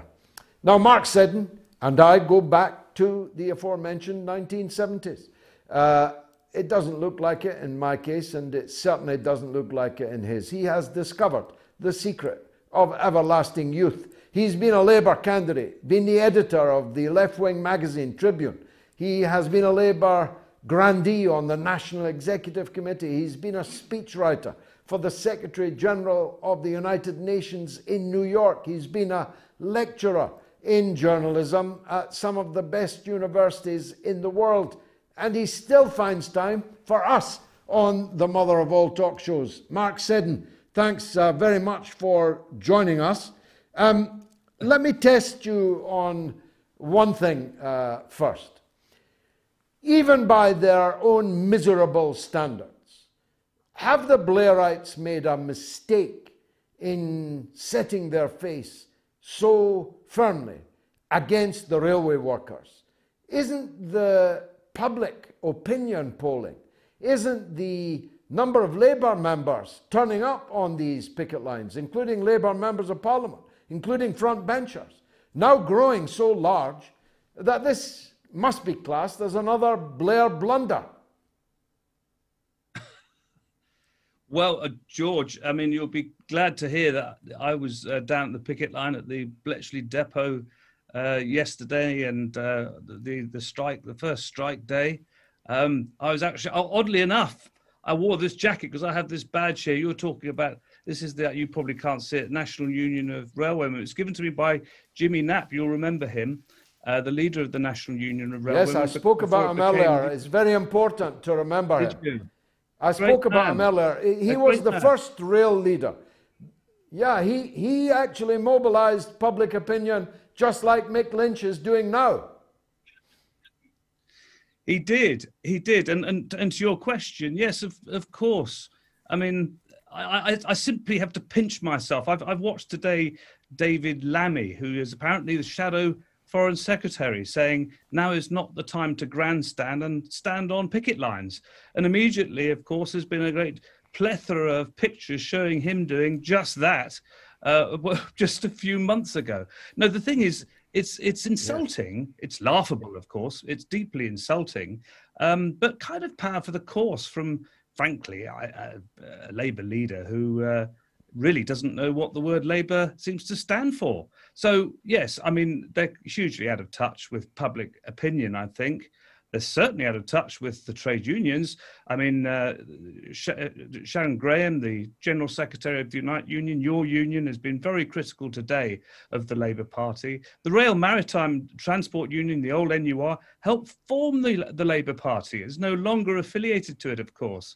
It's, uh, it's just astonishing that we've got into this situation. I don't think, by the way, the Tottenham Labour Party and the uh, trade unions have all condemned David Lammy Nobody's really listening to Keir Starmer on this.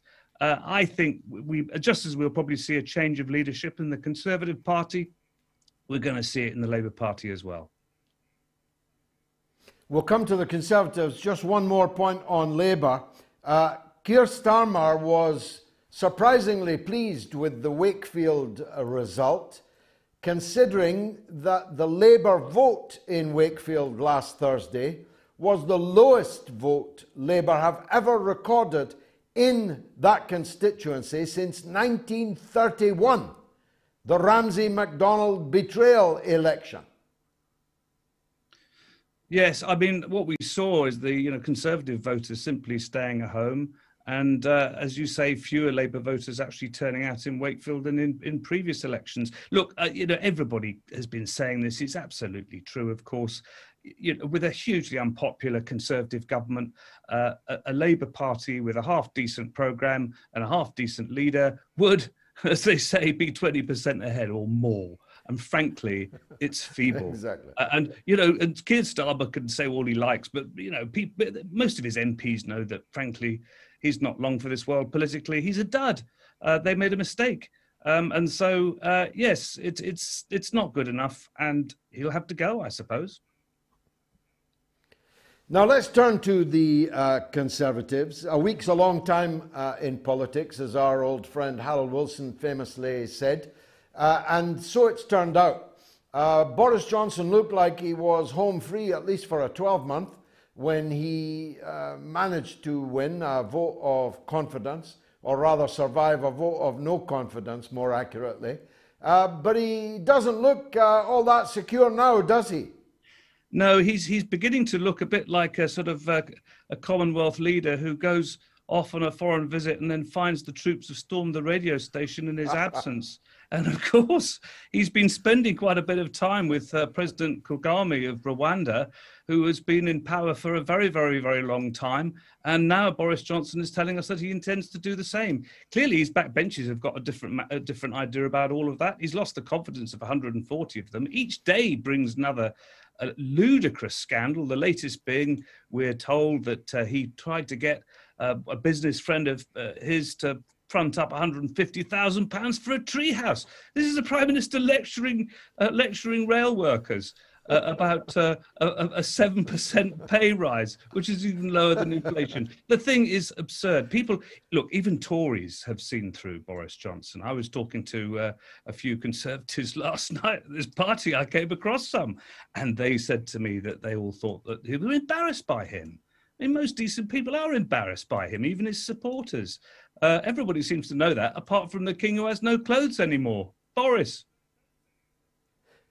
Those who seek to live in glass tree houses at other people's expense uh, should be careful of throwing stones. That's absolutely correct. Perhaps he'll seek political asylum in Rwanda.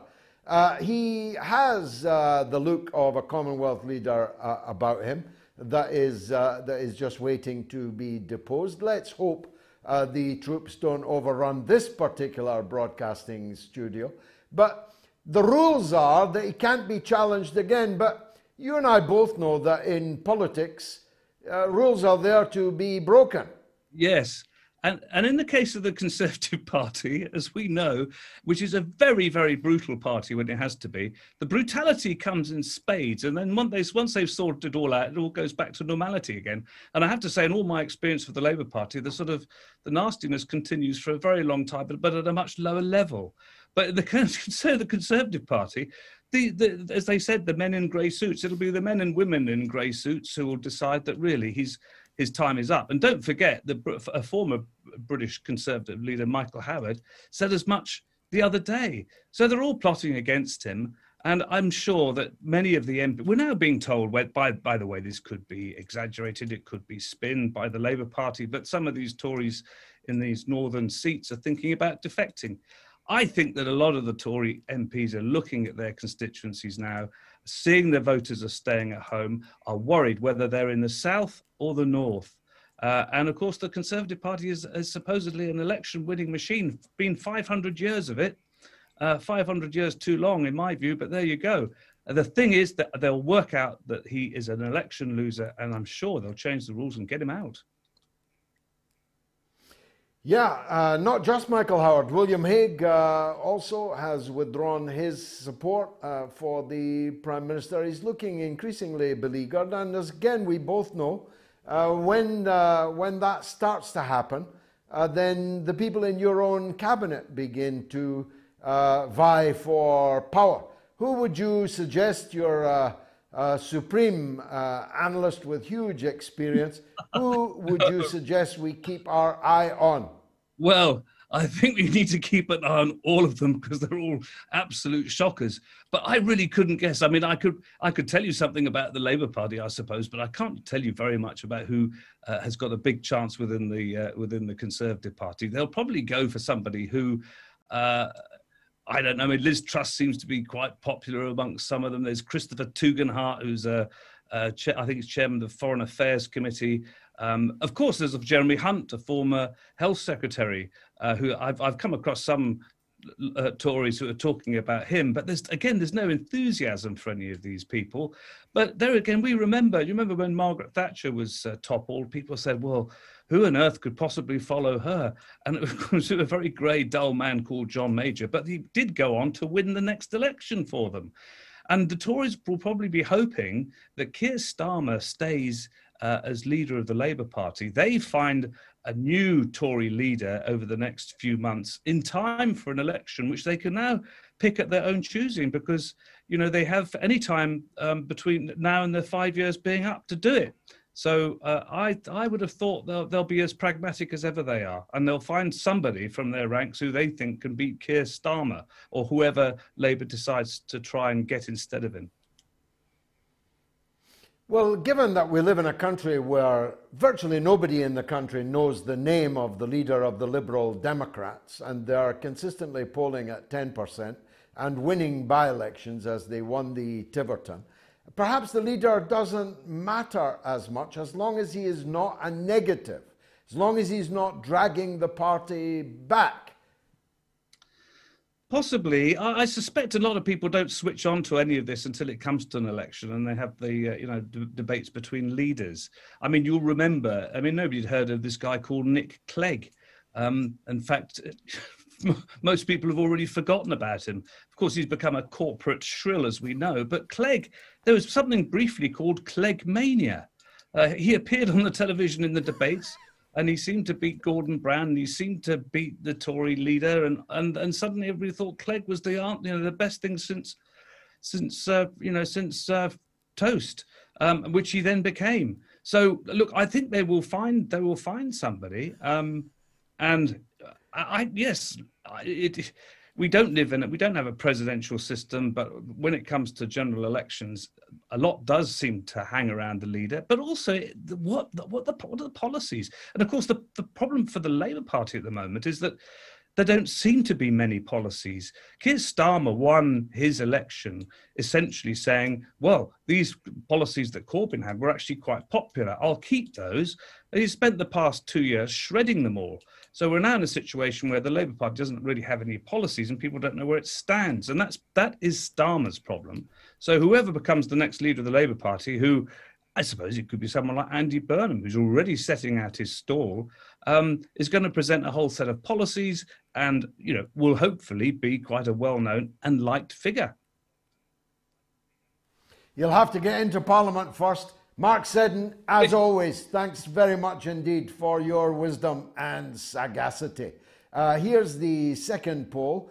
Do you support the railway workers on strike in the UK? A, yes. B, no. You can vote on my Twitter, on my YouTube channel, and on my Telegram. It's nine o'clock. It's time for a very short break from me.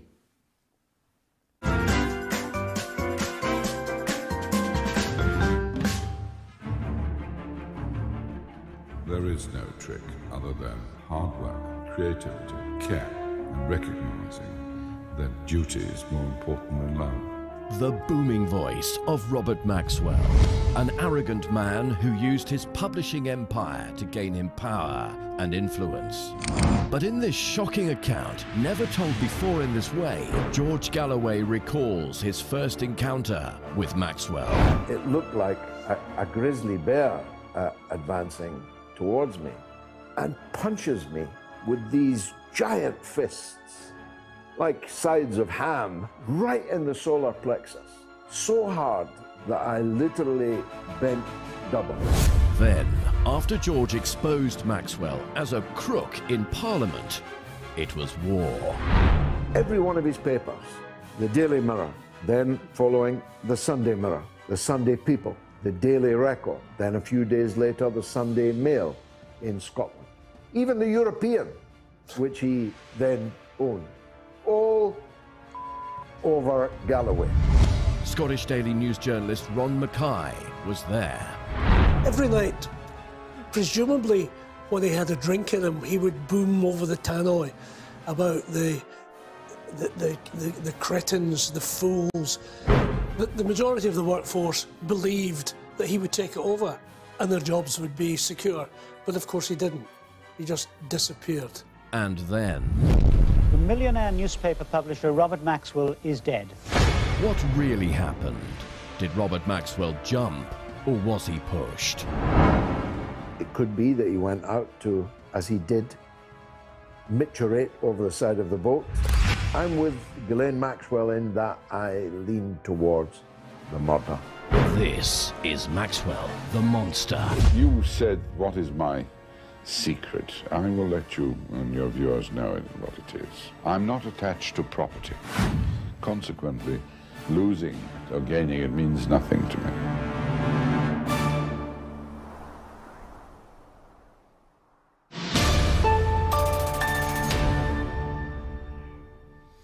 That's actually been one of the most popular things I've ever done. That little mini documentary on uh, Robert Maxwell, my part in his uh, downfall. Uh, we need to do more of those, I think, uh, perhaps on how I unmasked the fake Sheikh. You remember the fake Sheikh? Or maybe you've never heard of him, in which case we must introduce him to a new generation. I unmasked him also and you can see it on my YouTube channel if you want a preview. But uh, we'll look uh, deeper at one or two issues that I've been uh, involved in uh, with my good friend, our editor, uh, Ron Mackay. Uh, now, once upon a time, Maria Farmer was an artist whose trajectory was headed towards greatness. She was uh, really beginning to attract the attention of some of the biggest and most important figures in the art world in New York. Fatally, almost, as it turned out, including Jeffrey Epstein and Ghislaine Maxwell. Ghislaine Maxwell, having been found guilty on the most serious charges of trafficking children underage for sexual purposes, although we never yet learned to whom she was trafficking them and who the clients were uh, that uh, Epstein and Maxwell were procuring these young girls, sometimes children. for. uh, perhaps one day, now that we can know the names and even addresses of those who donated to the Freedom Convoy in Canada, thanks to the New York Times, maybe they'll publish just a few of the names of the people on the Lolita Express, the people who regularly, repeatedly visited Epstein's island where he sexually abused girls, women, and children. And maybe one day we'll get to know who really was at the core of his little black book.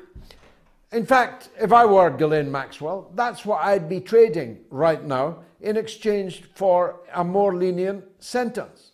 Unless she knows something that we don't, that there's no need to trade because the rich and powerful people for whom Epstein and Maxwell were working have already paid and are looking forward to a prison sentence that will be less than onerous. We'll see. I misjudged the court before. I didn't think she'd be found guilty. She was. I don't think she'll be imprisoned for 30 years, but she might be. And if she is, she deserves every single one of them. Just while we get Maria Farmer on the line, let me uh, tell you uh, that this uh, book of mine, my latest uh, novel, is going like hotcakes actually, because it's being sold in a bundle uh, of two Queensway and Black Lake. You can get both of them together for just £8.99 plus postage. And uh, I know they're going like hotcakes because they're being stuffed into envelopes in my living room. Uh, that's for those who buy them from the shop, georgegalloway.shop, because I'm having to dedicate and sign them, and my whole family has become a cottage industry uh, in that. So uh, do do get the book. Do come and see me in Newcastle tomorrow night at seven o'clock in the Copthorne Hotel. Uh, you can uh, get the tickets from uh, the uh, the ticket world. Does that say? Ticketsource.co.uk forward slash killing Kelly. Uh, I give an introductory uh, comments, then I show the film, and then I take as many questions as you have. Newcastle is a wonderful city with wonderful people. There are still tickets uh, available, so you can get them from Ticket Source. There's the uh, banner on the screen now. Phone numbers, if you've got a point of view on Roe versus Wade, on Ghislaine Maxwell, on Boris Johnson, on Joe Biden, on Ukraine, whatever, call me. If you're in the United Kingdom, it's free 08 081 If you're in the US or Canada, equally free plus one 844 944 3344. And you can email the show anytime at all at onair at moats.tv. I don't get time to read every comment out, but I promise you, I read every comment. Indeed, after the show, when I'm still on, as it were, I enjoy very much going through the comments that people uh, send in. Uh, I gave Maria Farmer the big build up. I won't do so again, except to say I have been so impressed by her courage and clarity from the beginning, the first victim perhaps, and the first person to report to the FBI uh, the pernicious pair, Jeffrey Epstein and Ghislaine Maxwell. And I'm glad to say Maria joins us again now in the week when Ghislaine Maxwell will be sentenced. Uh, Maria, thank you for joining us. Uh, tell you. us what you think should happen to Ghislaine Maxwell this week. Um, well, I would really like to see her spend the rest of her life in prison. and the, but I also would like to see um, not only Ghislaine spend the rest of her life in prison, I'd like to see her stay alive. And, and I have a concern um, because uh, the, the Southern District of New York, who's sort of in charge of all of this, they they are in charge. Um, they've known about Ghislaine and her antics since 1996 because the FBI gave them all the information. That's how it works. So um, people sometimes don't understand why I'm so upset with the Southern District. And it's because they then feigned to have never heard of Jeffrey Epstein or Ghislaine Maxwell until Julie Brown, who is a, a writer and um, a journalist, right, for the Miami Herald. And basically, um, I, I just think I would like to see her stay alive and spend the rest of her days in prison while I have a beautiful view and Virginia has a beautiful view and the rest of us do. Yes, that's what I would like. Well, uh, uh, you know, uh, she might, to her very great surprise, uh, commit suicide. Uh, indeed, this very night, she's on a, a suicide watch. Uh, right. Because, you know, the Southern District of New York, let's face it, is Clinton territory. Yes. Uh, and uh, the Clinton crime family have very mm-hmm. great influence there. And they have a vested interest in Ghislaine Maxwell not trading names for a reduction in her sentence, don't they? They do. They have a great interest in it. And, you know, you had mentioned this before. Um, not one of the men who assaulted these children has been arrested. Not one of the people that worked beside Ghislaine to harm children and young women and vulnerable people, not one has been arrested. And so that's why um, I've remained vocal. That's why new survivors, not new survivors, but survivors who didn't want to have to come out, like George Tonks, that's why um, he's come forward because the main person behind all of this is Leslie Wexner. And Leslie Wexner has he's gotten off scot-free and we don't understand it. So he must have so much power uh, either through the CIA or the Southern District. We just don't know what position he holds, but he's in the middle of everything and he owns Southern Air Transport. I mean, he owns the CIA airlines, right? And, you know, my lawyers had talked to me about that ages ago. And, and I just think that uh, Brad Edwards in his book uh, says that he believes that Epstein um, was CIA.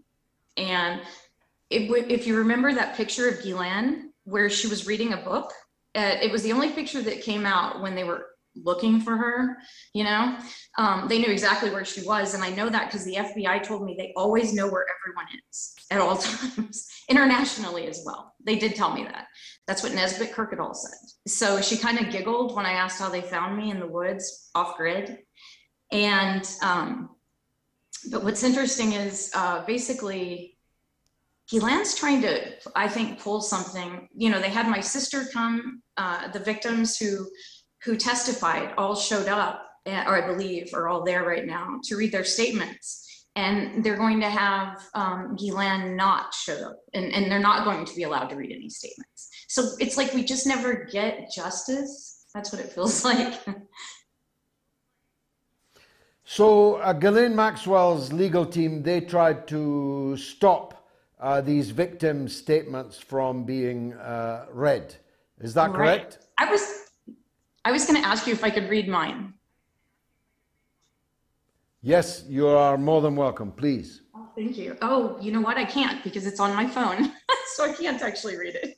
I'm sorry, but basically, Well, I just uh, I, where can told- where, where, where can uh, people read it? Have you put it on your social media? Okay, so um, that's interesting. I had to go off of social media. This is something that people should know about. Um, we survivors are being really poorly treated on social media, so most of us aren't on there.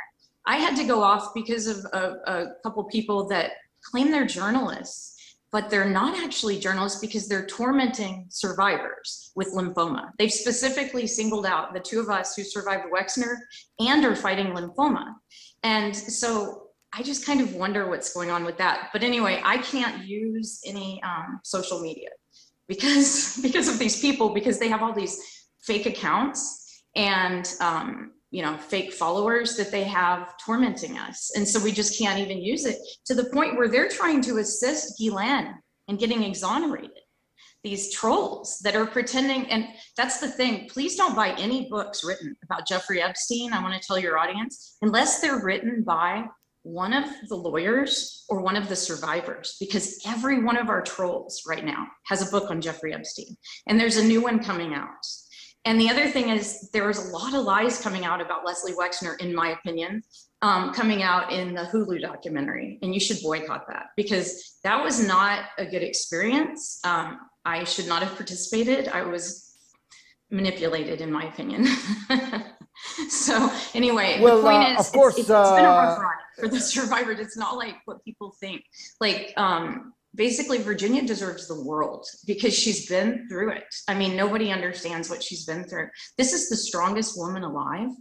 And she's a fighter and she's a beautiful soul. And even though she's been through all those horrible things, she's kind.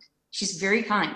And, you know, so like the trolls who are currently writing a book and who are going to publish their book during, I think, when the Hulu documentary comes out, I'm assuming, um, they don't even have an ounce of class. And that's the one thing that at least Julie Brown and Vicky Ward had one ounce, not more, but they had one ounce. And, but they have tormented, like Vicky Ward has tormented me for almost 26 years, 20, over 24 years now. And she recently sent a threat letter to my lawyers. I mean, I take it as a threat. It's a legal letter telling me to shut up. I never discussed her. So then I'm going to discuss her because she's culpable for what happened because she never wrote about it.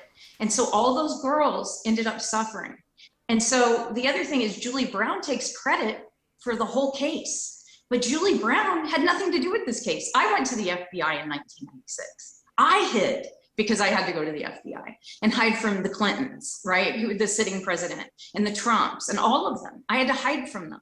And um, so people want to change history, right? They're really trying. They're trying to cast aspersions on all the survivors. They're investigating me. I mean, I had my graduate school investigate me. Why didn't they do that 30 years ago?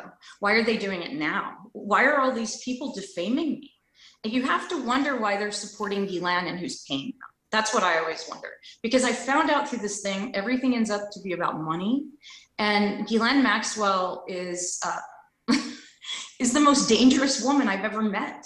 And these these trolls are trying to have her exonerated. It's just it's mind-boggling. I don't understand it. So I believe that she will spend the rest of her life in prison if she gets a life, right? If they actually allow her to stay alive.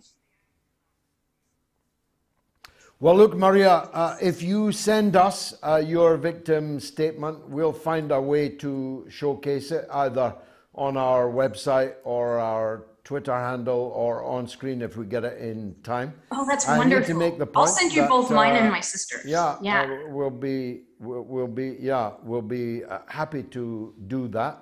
Uh, the only you. two people that were uh, ever charged in this regard were Epstein and Maxwell, and the only convicted one is Maxwell. Uh, right. Wexner uh, is not facing charges. He's not here to answer the points that you made about him. Uh, and of course, we make ourselves available if he wants Yes. to comment. Uh, That would be if he wants to answer the points that you've made uh, about him. So please, Mr. Wexner, if you feel you've been wronged uh, by what Maria Farmer has said, by all means, uh, enter the lists and we'll give you all the time you want. Um, Yes. The offences against you, as I understand it, took place at Leslie Wexner's ranch. Is that right? That's right. It was on his New Albany estate in New Albany, Ohio. And I was watched on uh, cameras by his wife and his family, or whomever in their home, whoever felt like watching me uh, 24 hours a day under video surveillance. I was told by Ghislaine and Jeffrey that the pinhole cameras were ubiquitous in the home. If I needed to, if I went to the restroom, Ghislaine would call me and tell me to get out of the loo because um, I actually needed, she needed to speak to me at that moment because she was watching me from New York. And I developed um, a severe, se- very severe health condition from the trauma uh, of being at that estate. And I know it happened then because number one, some amazing doctors told me that it had been 23 years. And at that point, that the brain tumor had grown. And at that point, I was like, you know, I was a health nut, by the way. I've always been really careful with my gut and what I take into my body. And I was an athlete. So to suddenly be very, very sick at that, I got sick at that estate. Um, when I left, my father was shocked because I couldn't get off of the sofa. For literally days on end, even to shower. So I got hit with this phenomenal fatigue at Leslie Wexner's house, and I was um, my life was threatened by his right hand man, Randy Bowie. And so, yeah, I would love it if he would come on and explain himself because he's been into this business of harming children since at least the 80s, we know. Um, we've been able to track it to at least the 80s. So, um, you know, through his survivors. And, and, and I'm not the only Well, survivor. as I say, of lymphoma. uh, George he's Fox, who uh, is a yeah survivor, he, he he's also has lymphoma. yeah. And Uh, that's as I weird, say, you uh, know? he's not So here we're- to we're really trying answer. to, uh, um, that's sorry, one thing I sorry, learned from Maria, David, I Maria. to not- he, not believe he's in he's not uh, Maria. He's not here to answer these things, uh, and so I have to make that point that uh, he's not charged with any crime. He is the apparently respectable head of Victoria's Secret, a worldwide business. Uh, he's a very rich and powerful man. I don't know if he's litigious. Maybe he doesn't want to get into litigation, but I have to make. Oh, he's the point, extremely uh, litigious. he's Um, not here. So for my first interview, Yeah, I, all I right. interviewed Well, with uh, CBS. uh, all the more, all, all the more reason why I need to stop you.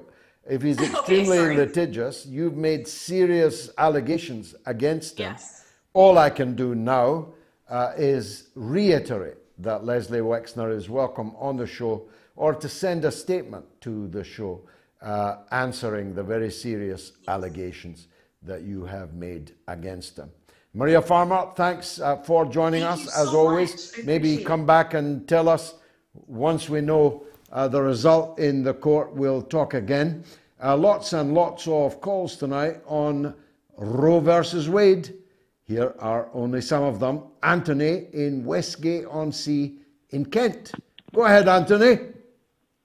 Hello. Um, I was very pleased to see that the Americans have overturned Roe v. Wade because it was really uh, an extraordinarily bad law imposed on an entire nation by nine Supreme Court justices.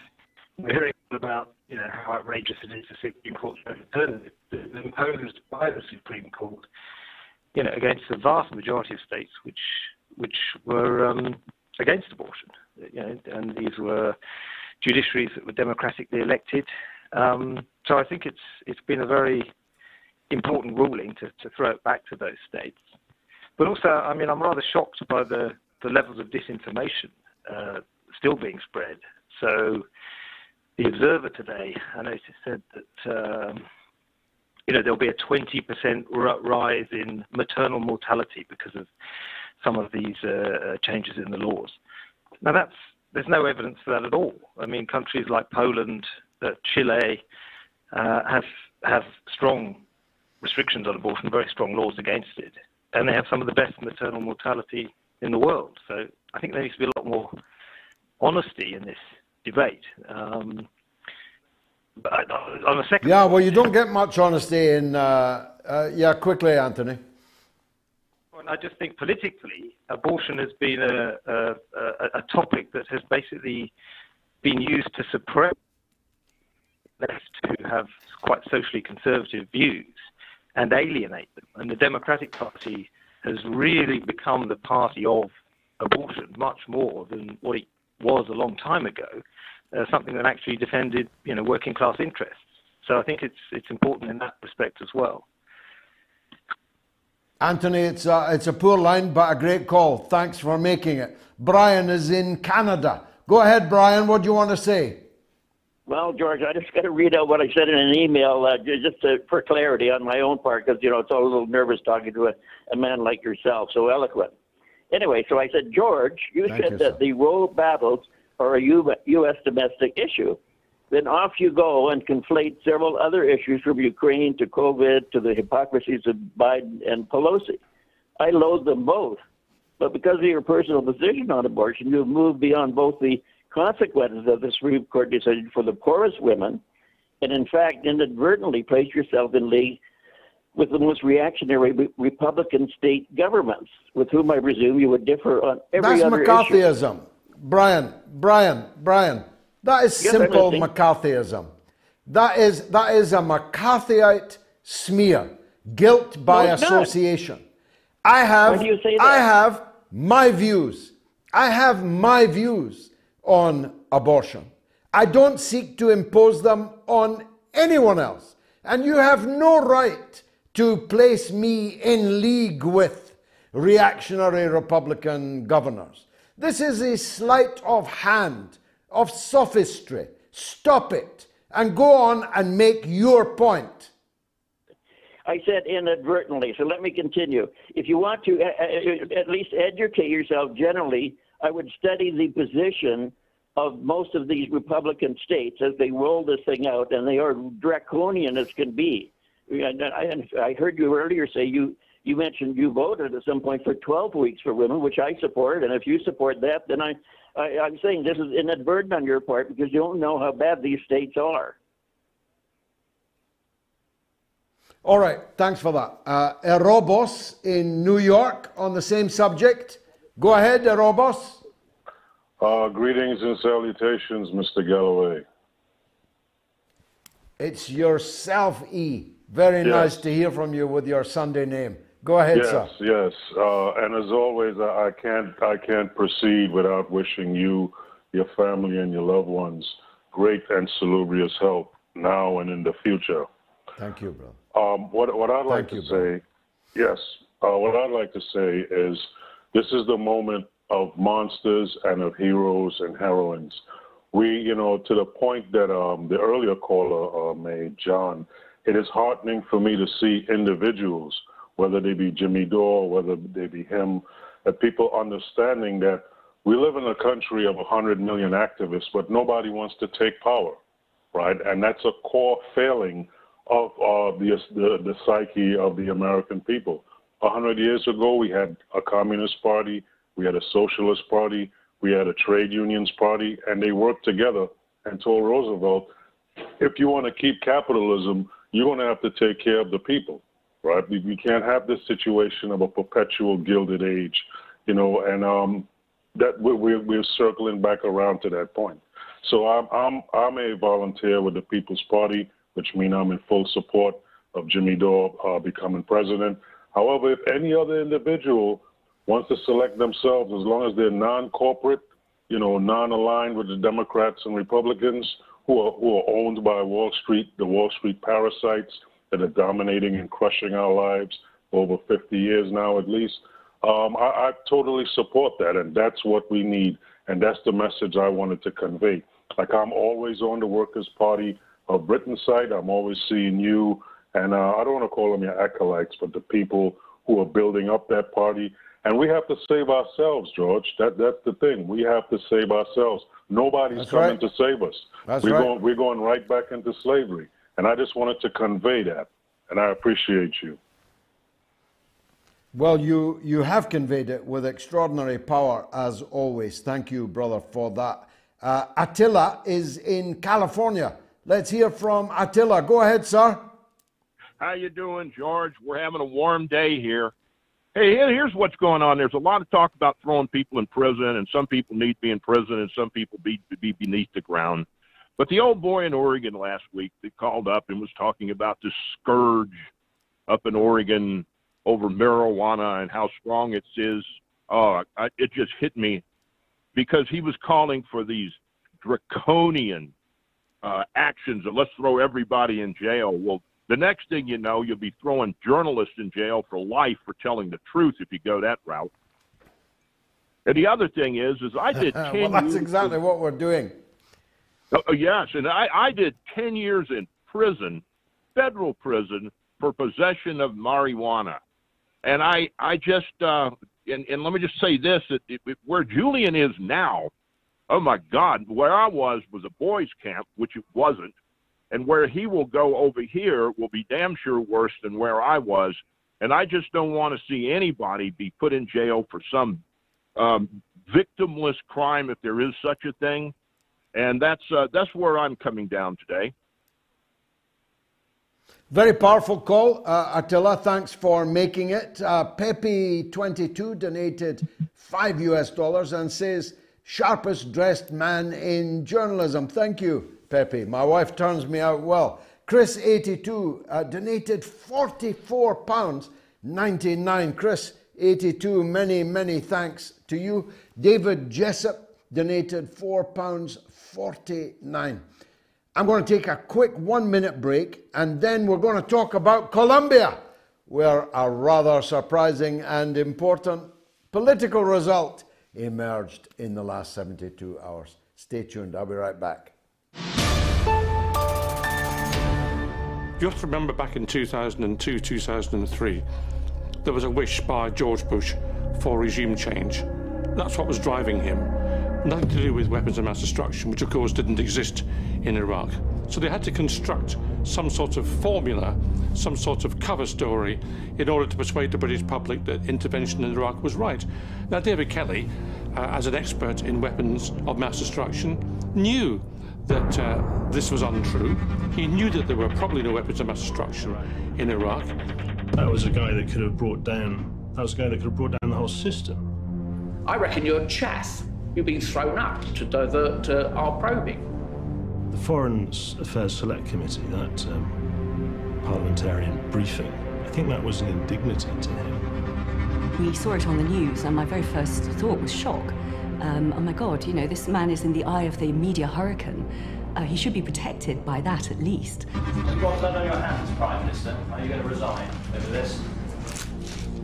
I don't know the details of how Lord Hutton happened to be selected, but what was certainly the case is that he was the right kind of judge to use from the point of view of Downing Street and the intelligence services as well. Of the 21 days of hearing, only one half of one day was spent on discussing the forensic aspects.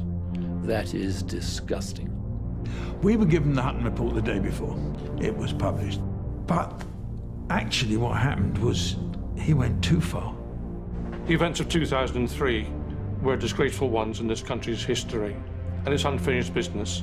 Those responsible for an illegal war, those responsible for the death of David Kelly, have not been brought to justice. There's been no inquest into David Kelly's death. There needs to be one. We need to make sure that those who behaved in a reprehensible way in 2003 are finally brought to book.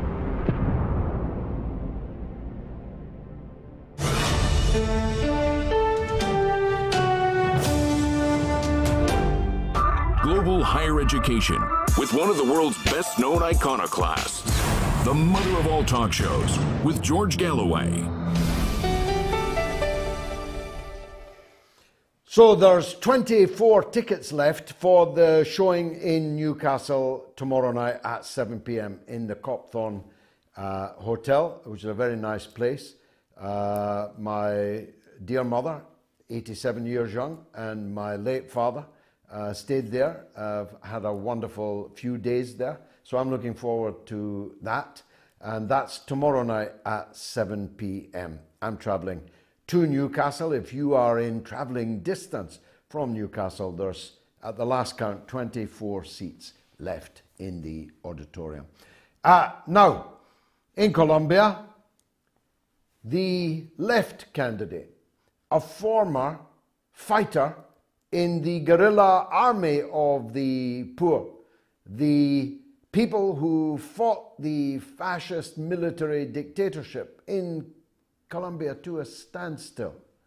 The people who have resisted the use of their country as a garrison of uh, the US empire, a spearhead against neighboring Venezuela, a threat to the people of their own country to an extraordinary degree. Political activists, trade union activists, social movement activists disappeared and massacred all of that was the backdrop to an amazing presidential victory for the left wing candidate in the elections this week. One man who knows, a woman, I beg your pardon, who knows all about it is Oxford University's finest, Gwen Burnyeat. Gwen, thanks uh, for joining us. Are you actually in Colombia right now? Yes, I am. Thank you very much for having me. It's a pleasure to be on the show. It's an honor uh, for us to have you. Uh, what's the atmosphere like in Colombia in the wake of this result? I think it's, I mean, it's a very exciting time to be in Colombia. Um, there's really an atmosphere of hope and enthusiasm. as you mentioned, this is a really significant election. Um, it's the first time that a non-elite candidate has been elected president. And it's significant because it's Gustavo Petro is, as you mentioned, a left-wing uh, former guerrilla fighter, but he was a former guerrilla fighter from the M19 guerrilla, which actually disarmed in 1991. And he's been doing politics ever since. He's been a mayor of Bogota, he's been a congressman several times, and he was partnered um, with Francia Marquez, his vice presidential formula, who is the Colombia's first ever Afro-Colombian woman to reach high office. And both of them are from uh, conflict-affected regions of the country.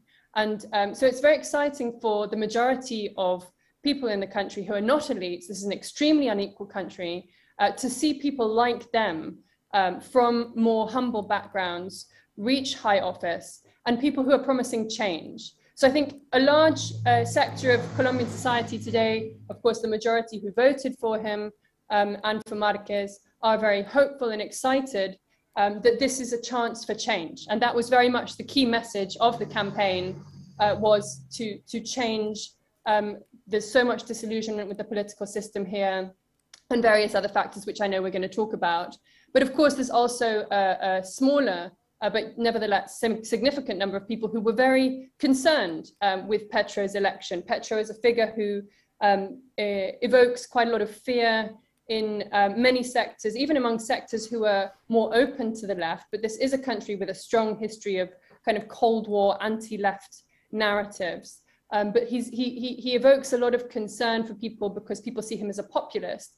But I think since he was elected on Sunday, um, so a week ago today, he's managed to send a lot of messages that reassure people. Um, and his message is now very much about overcoming polarization and building dialogue between different sectors to get different sectors round the table from the political parties, from the different sectors of, of society to make the changes that this country so desperately needs.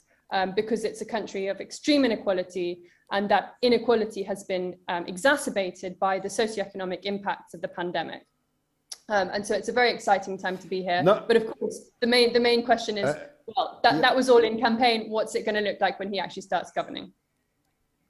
Yes, uh, uh, of course, uh, you're right to make the point that he was with the M19, not with the FARC, the Revolutionary Armed Forces of Colombia, so he has a longer period, uh, more than 30 years, uh, in the political world rather than in the armed struggle uh, against dictatorship. I'm presuming that all the forces of the left got behind him as the most likely candidate to win, and of course I know there are many people on the right, former supporters of the oligarchy and the dictatorships, uh, who will be terrified of him. But he's not actually all that frightening, is he? Uh, he his declared uh, ideology is he supports democratic capitalism. Chance would be a fine thing, many of us would say, uh, but how sincere is he about that? I think he's sincere about making significant changes to address the most serious problems of Colombia beyond ideology or beyond um, sort of campaign banners. I think that that what I think is really important is he's brought together a number of different sectors into this coalition. So he's not governing on his own. I think that's another important point to make. He's um, the leader of a party called Colombia Humana, which is a left-wing party, um, but the platform that has won the government is not just Colombia Humana. Colombia Humana is part of a broader coalition government called Pacto Histórico, which it's all in the name, historic pact. Um, so this is a coalition which is made up of many different leftist and center-left uh, parties and also indigenous movements and sectors. Um, but also some centrist figures have joined him in his uh, campaign. And I think this is significant because among those figures who have joined him are several people who formerly were working in the government of Juan Manuel Santos, who was president of Colombia between 2012, uh, 2010 and 2018, and who was uh, the leader of the peace negotiations with the FARC guerrilla, which you've just mentioned, which led to a historic peace deal in 2016, in which the FARC guerrilla um, disarmed, but also this agreement had the roadmap for a series of significant transformations of the structural conditions um, of inequality in the country the, the, the addressing of which were, were meant to uh, prevent future cycles of violence. Um, and so you have a lot of people who are now working with Petro, who are former Santistas, but they are really representing the continuance of implementing the peace agreement. And I think that the peace agreement is one of the most important um, things that's at stake with the Petro government. And I think Petro is really sincere about implementing that peace agreement. And that's one of the things which all of the different sectors from the left to the center, who of course have many differences in terms of their vision um, of the economy of the country and of various other things, they all come together around the importance of implementing this peace agreement, which was signed with the FARC in 2016, which doesn't just uh, disarm the guerrilla, but also um, does land reform, increases political participation of, a, of the whole of demo the democratic system, addresses the drug trafficking, which has degraded the conflict so much, and provides a series of truth and justice mechanisms to redress the rights of the over 8 million victims of the Colombian armed conflict. And so I think his commitment to implementing that peace deal is really important because the peace deal was rejected in a referendum in 2016. And the people who opposed the peace deal, who were the, um, the, the party of the former president Alvaro Uribe, the Democratic Center Party, they then continued to campaign against the peace deal in order to win the presidential elections of 2018. And the president, who is today President Ivan Duque, uh, was elected on a basis of promising to basically undermine and do away with the peace deal. And so during this four years of government, we have seen the peace deal has been hanging on by a thread. There were various really important advances that were made in 2016 as the FARC disarmed and the first steps of implementation began um, under Santos. But then, uh, and, and in fact, homicides dropped to a 20 year low. But then, with Duque's arrival into the presidency, Duque did not implement fully the peace agreement and the insecurity rates have spiraled. So the conflict is now, again, a really significant uh, concern um, in the country. And so a lot of eyes are on Petro as the, the last chance, really, of saving not only the, the, the, minimalist sections of the peace deal in which regard, you know, ending the conflict and just stopping the violence, but also the more maximalist aspirational um, parts of the peace agreement, which have a more redistributive agenda. So everyone is really hoping that he's going to be able to implement this deal. Um, and in order to do that, he does need the support of these different sectors from the left and the center. And he's even now starting to talk to the right. The recent news is that he has invited former President Uribe to uh, a dialogue to address the important things that they can find in common to find solutions for this country's problems. And Uribe has accepted. And so this is a, an interesting um, an interesting step towards an era of dialogue instead of uh, polarization, as some people are calling it. I'd take a long spoon uh, if I was uh, the president. Uh, lastly, how has the United States reacted? The United States has reacted really positively, which um, is a really reassuring sign. And so, all of those sectors who were very anti Petro and very afraid of Petro because they were very afraid of the left have been, I think, reassured in this last week. Within two days, uh, Biden uh, phoned Petro and they spoke on the phone about the important, um, uh, you know, relationship that they're going to have. Of course, Colombia is America's main ally in the region and has historically been on the right. So this was a kind of a, a touchy subject, and the alliance with America is really important um, for all of the things to do with implementing the peace agreement. Um, but I think they, they had a phone conversation um, within two days, whereas Ivan Duque, the current president, had to wait five months to get Joe Biden on the phone. Um, so it shows how serious Joe Biden is. And Joe Biden was a supporter of the peace deal when Obama was president. Um, and so I think he will look favorably on the peace deal. One of the major um, uh, one of the major challenges is to change the um, attempt, the, the, the, approach to drug trafficking, because one of the uh, parts of the peace deal was to tackle drug trafficking with a holistic approach, providing crop substitution to poor, poor farmers who grow coca crops out of necessity, giving them ways to transition into legal economies. Um, and this was a, a, a, you know, a very carefully constructed policy and it had the support of Obama. But then Ivan Duque got into power and Trump came into power in the White House and they returned to a much more militarized um, strategy where they were doing forced eradication of crops, which is terrible for the environment and um, also treating the poor farmers as criminals. Um, and this has created a lot of unrest. And so the hope is that the uh, drugs agenda is going to return to implementing point four of the peace agreement on the holistic measures around drugs, But also, Petro has been saying to Biden that one of the important things he wants to work on with the United States is climate change. This is the first time that a Colombian president has been elected with climate change as one of his key promises. And so that the United States is going to be an important ally for that. And it's also an issue that Biden has been enthusiastic about. So uh, let's hope.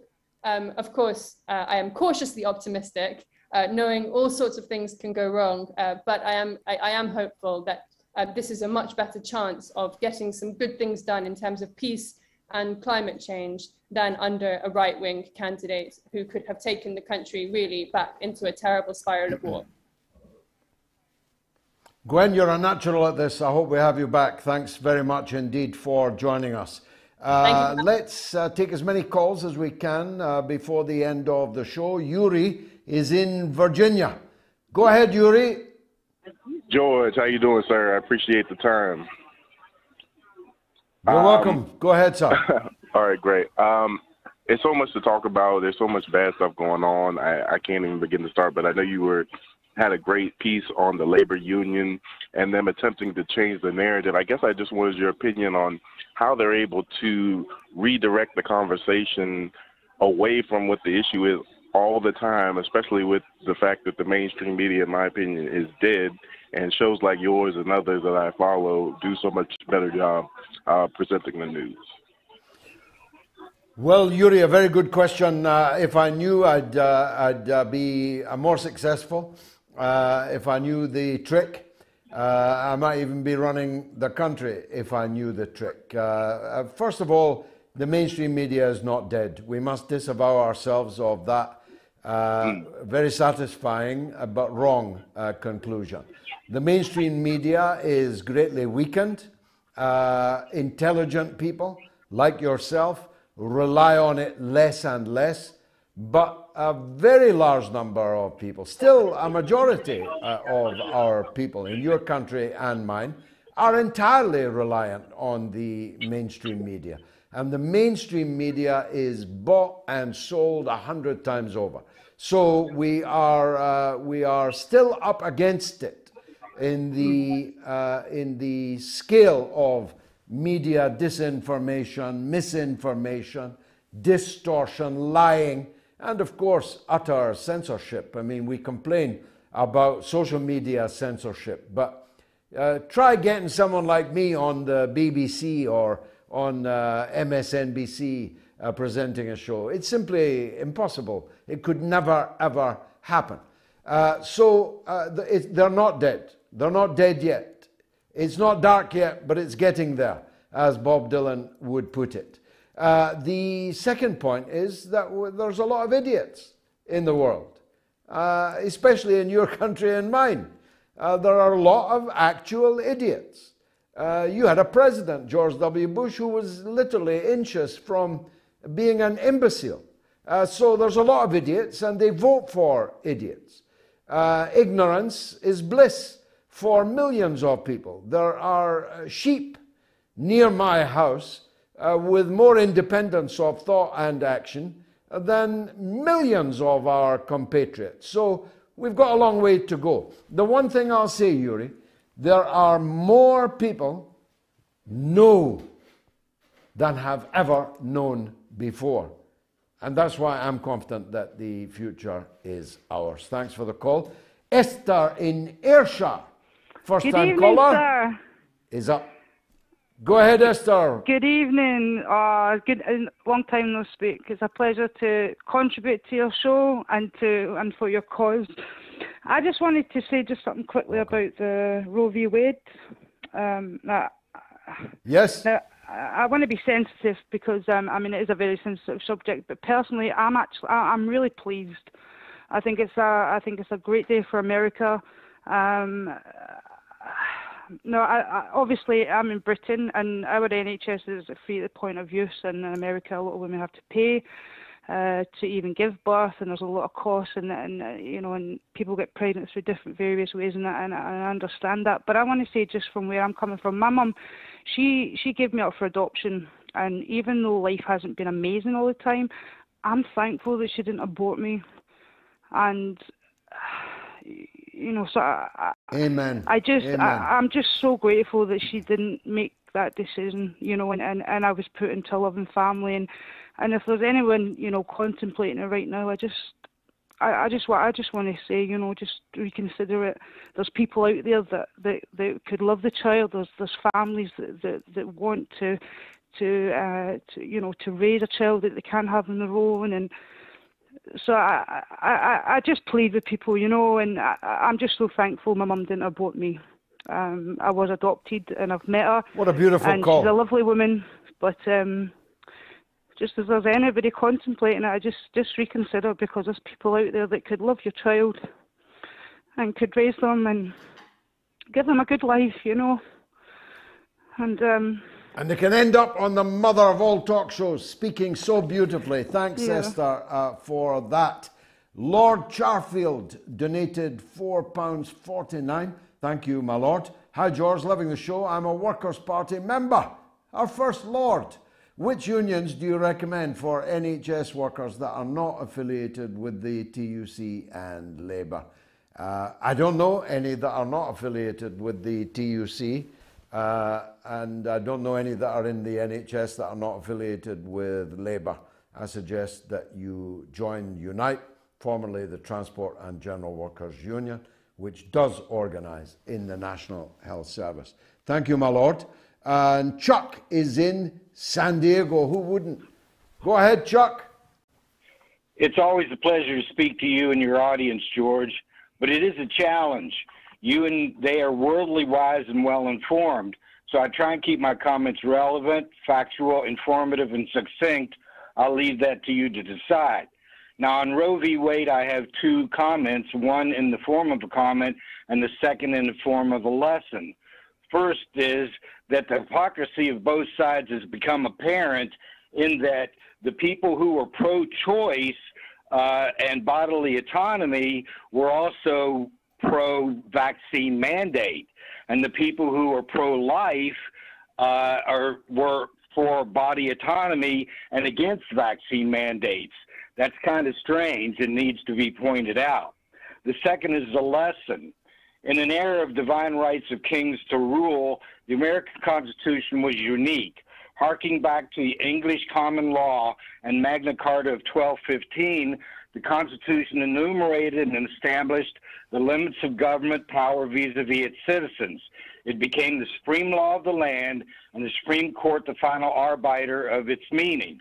Last time I discussed the activist, activist conservative justice who ruled with a twisted and pretzel logic that corporations were people and money equaled speech, though neither are even intimated in the language of the Constitution. But activism works both ways. Today, when people speak of justice as politics, they are labeled as either liberal or conservative, that only pertains to the social and cultural issues. Otherwise, they are in lockstep as they like the Attorney General, the chief officer of the uh, United States, uh, are drawn to the ranks of the elite from corporate law firms. There was a time, however, when the distinctions were valid. In 1966, the liberal left leaning court of Earl Warren decided in Miranda v. Arizona, and in 1973, the activist Warren Burger court decided Roe v. Wade, respectively. Ignorance of the law is no excuse, meaning if a person violates the law, the fact they didn't know is no defense. But it cuts both ways. Ignorance of your rights preclude an ability to assert them, making it as if you have no right. Regarding the Miranda decision in 1966, the Warren Court looked to the Fifth Amendment's right against self incrimination to infer the right to remain silent. This led to the ubiquitous Miranda warning you have the right to remain silent. Confessions and otherwise strong court cases were thrown out due to the lack of Miranda. Reversing that decision, Judge Alito ruled that you may have the constitutional right against self incrimination, but no constitutional right to be advised of that. With 1973 Roe case, the court struck down a Texas statute that criminalized abortion as too restrictive and against a woman's right to choose and her privacy, implying a right from the language of the Bill of Rights. In overturning Roe, the court ruled the original decision was egregiously wrong and created a right not in the Constitution. Relying on the 10th Amendment, known by the moniker of states' rights, that relates all powers not expressly given to the federal government are reserved to the states. With trigger laws in place, the result of the ruling will be a patchwork of uh, state laws where a woman's rights will depend on what state she resides in and her financial wherewithal.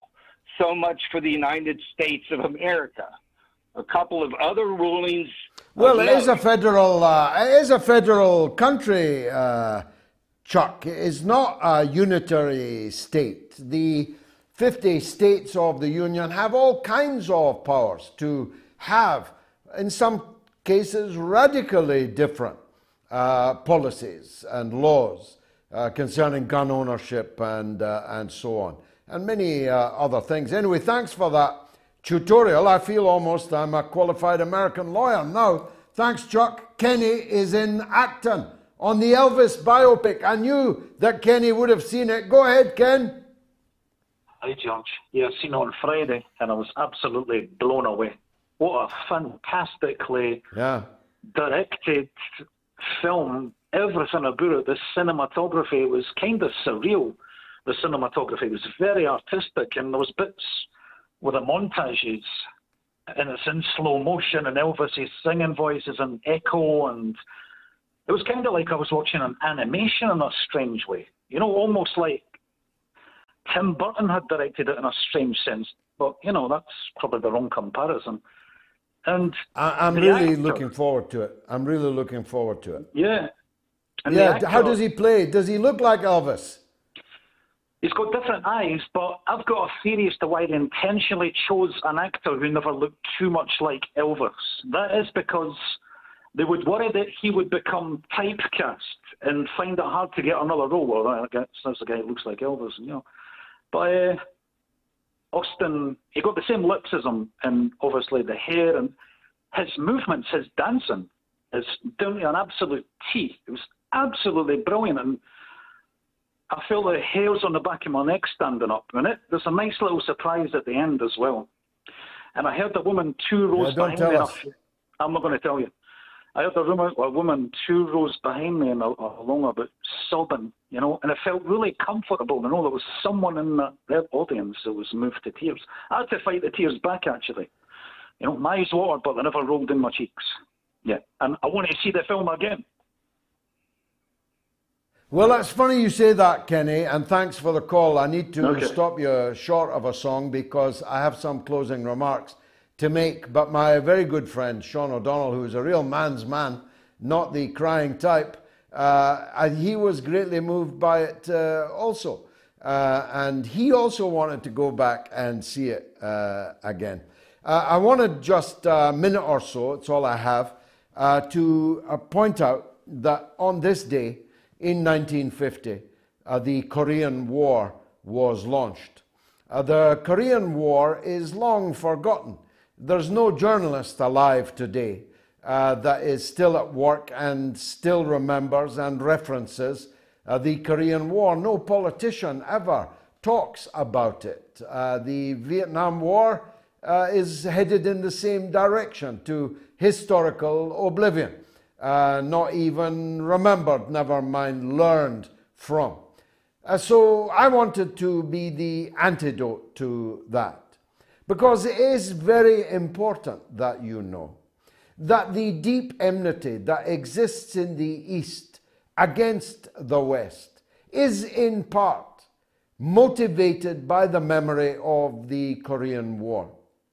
In 1950, the United States and Great Britain and Australia and many other Western countries launched a devastating, annihilating, nihilistic, genocidal attack on the people of Korea, all to maintain a false partition of a small peninsula in the interests of hatred of the Soviet Union and the hatred of the People's Republic of China, which had only just come into being.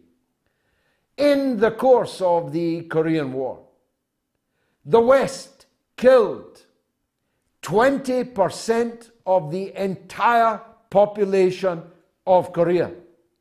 One in five Koreans was killed by the United States and Great Britain and Australia and other countries. Not a single building higher than one story high was left standing in Korea at the end of the war. We've run out of targets, said General Curtis LeMay, uh, the mass murderer in chief on the Korean Peninsula. So, when the next time you hear about North Korean paranoia, when the next time you hear about North Korean missiles and the armed encampment which North Korea has become. Remember that one in every five of all Koreans was killed by us in the lifetime of Elvis. As a matter of fact, Elvis was already on the stage when we were murdering Koreans in their millions. Thank you very much indeed for joining me tonight. I have thoroughly enjoyed the show. I hope that you did also. And if you did, join me on Wednesday on YouTube for the Galloway Show, a no budget television alternative to the mother of all talk shows. Good night and thank you.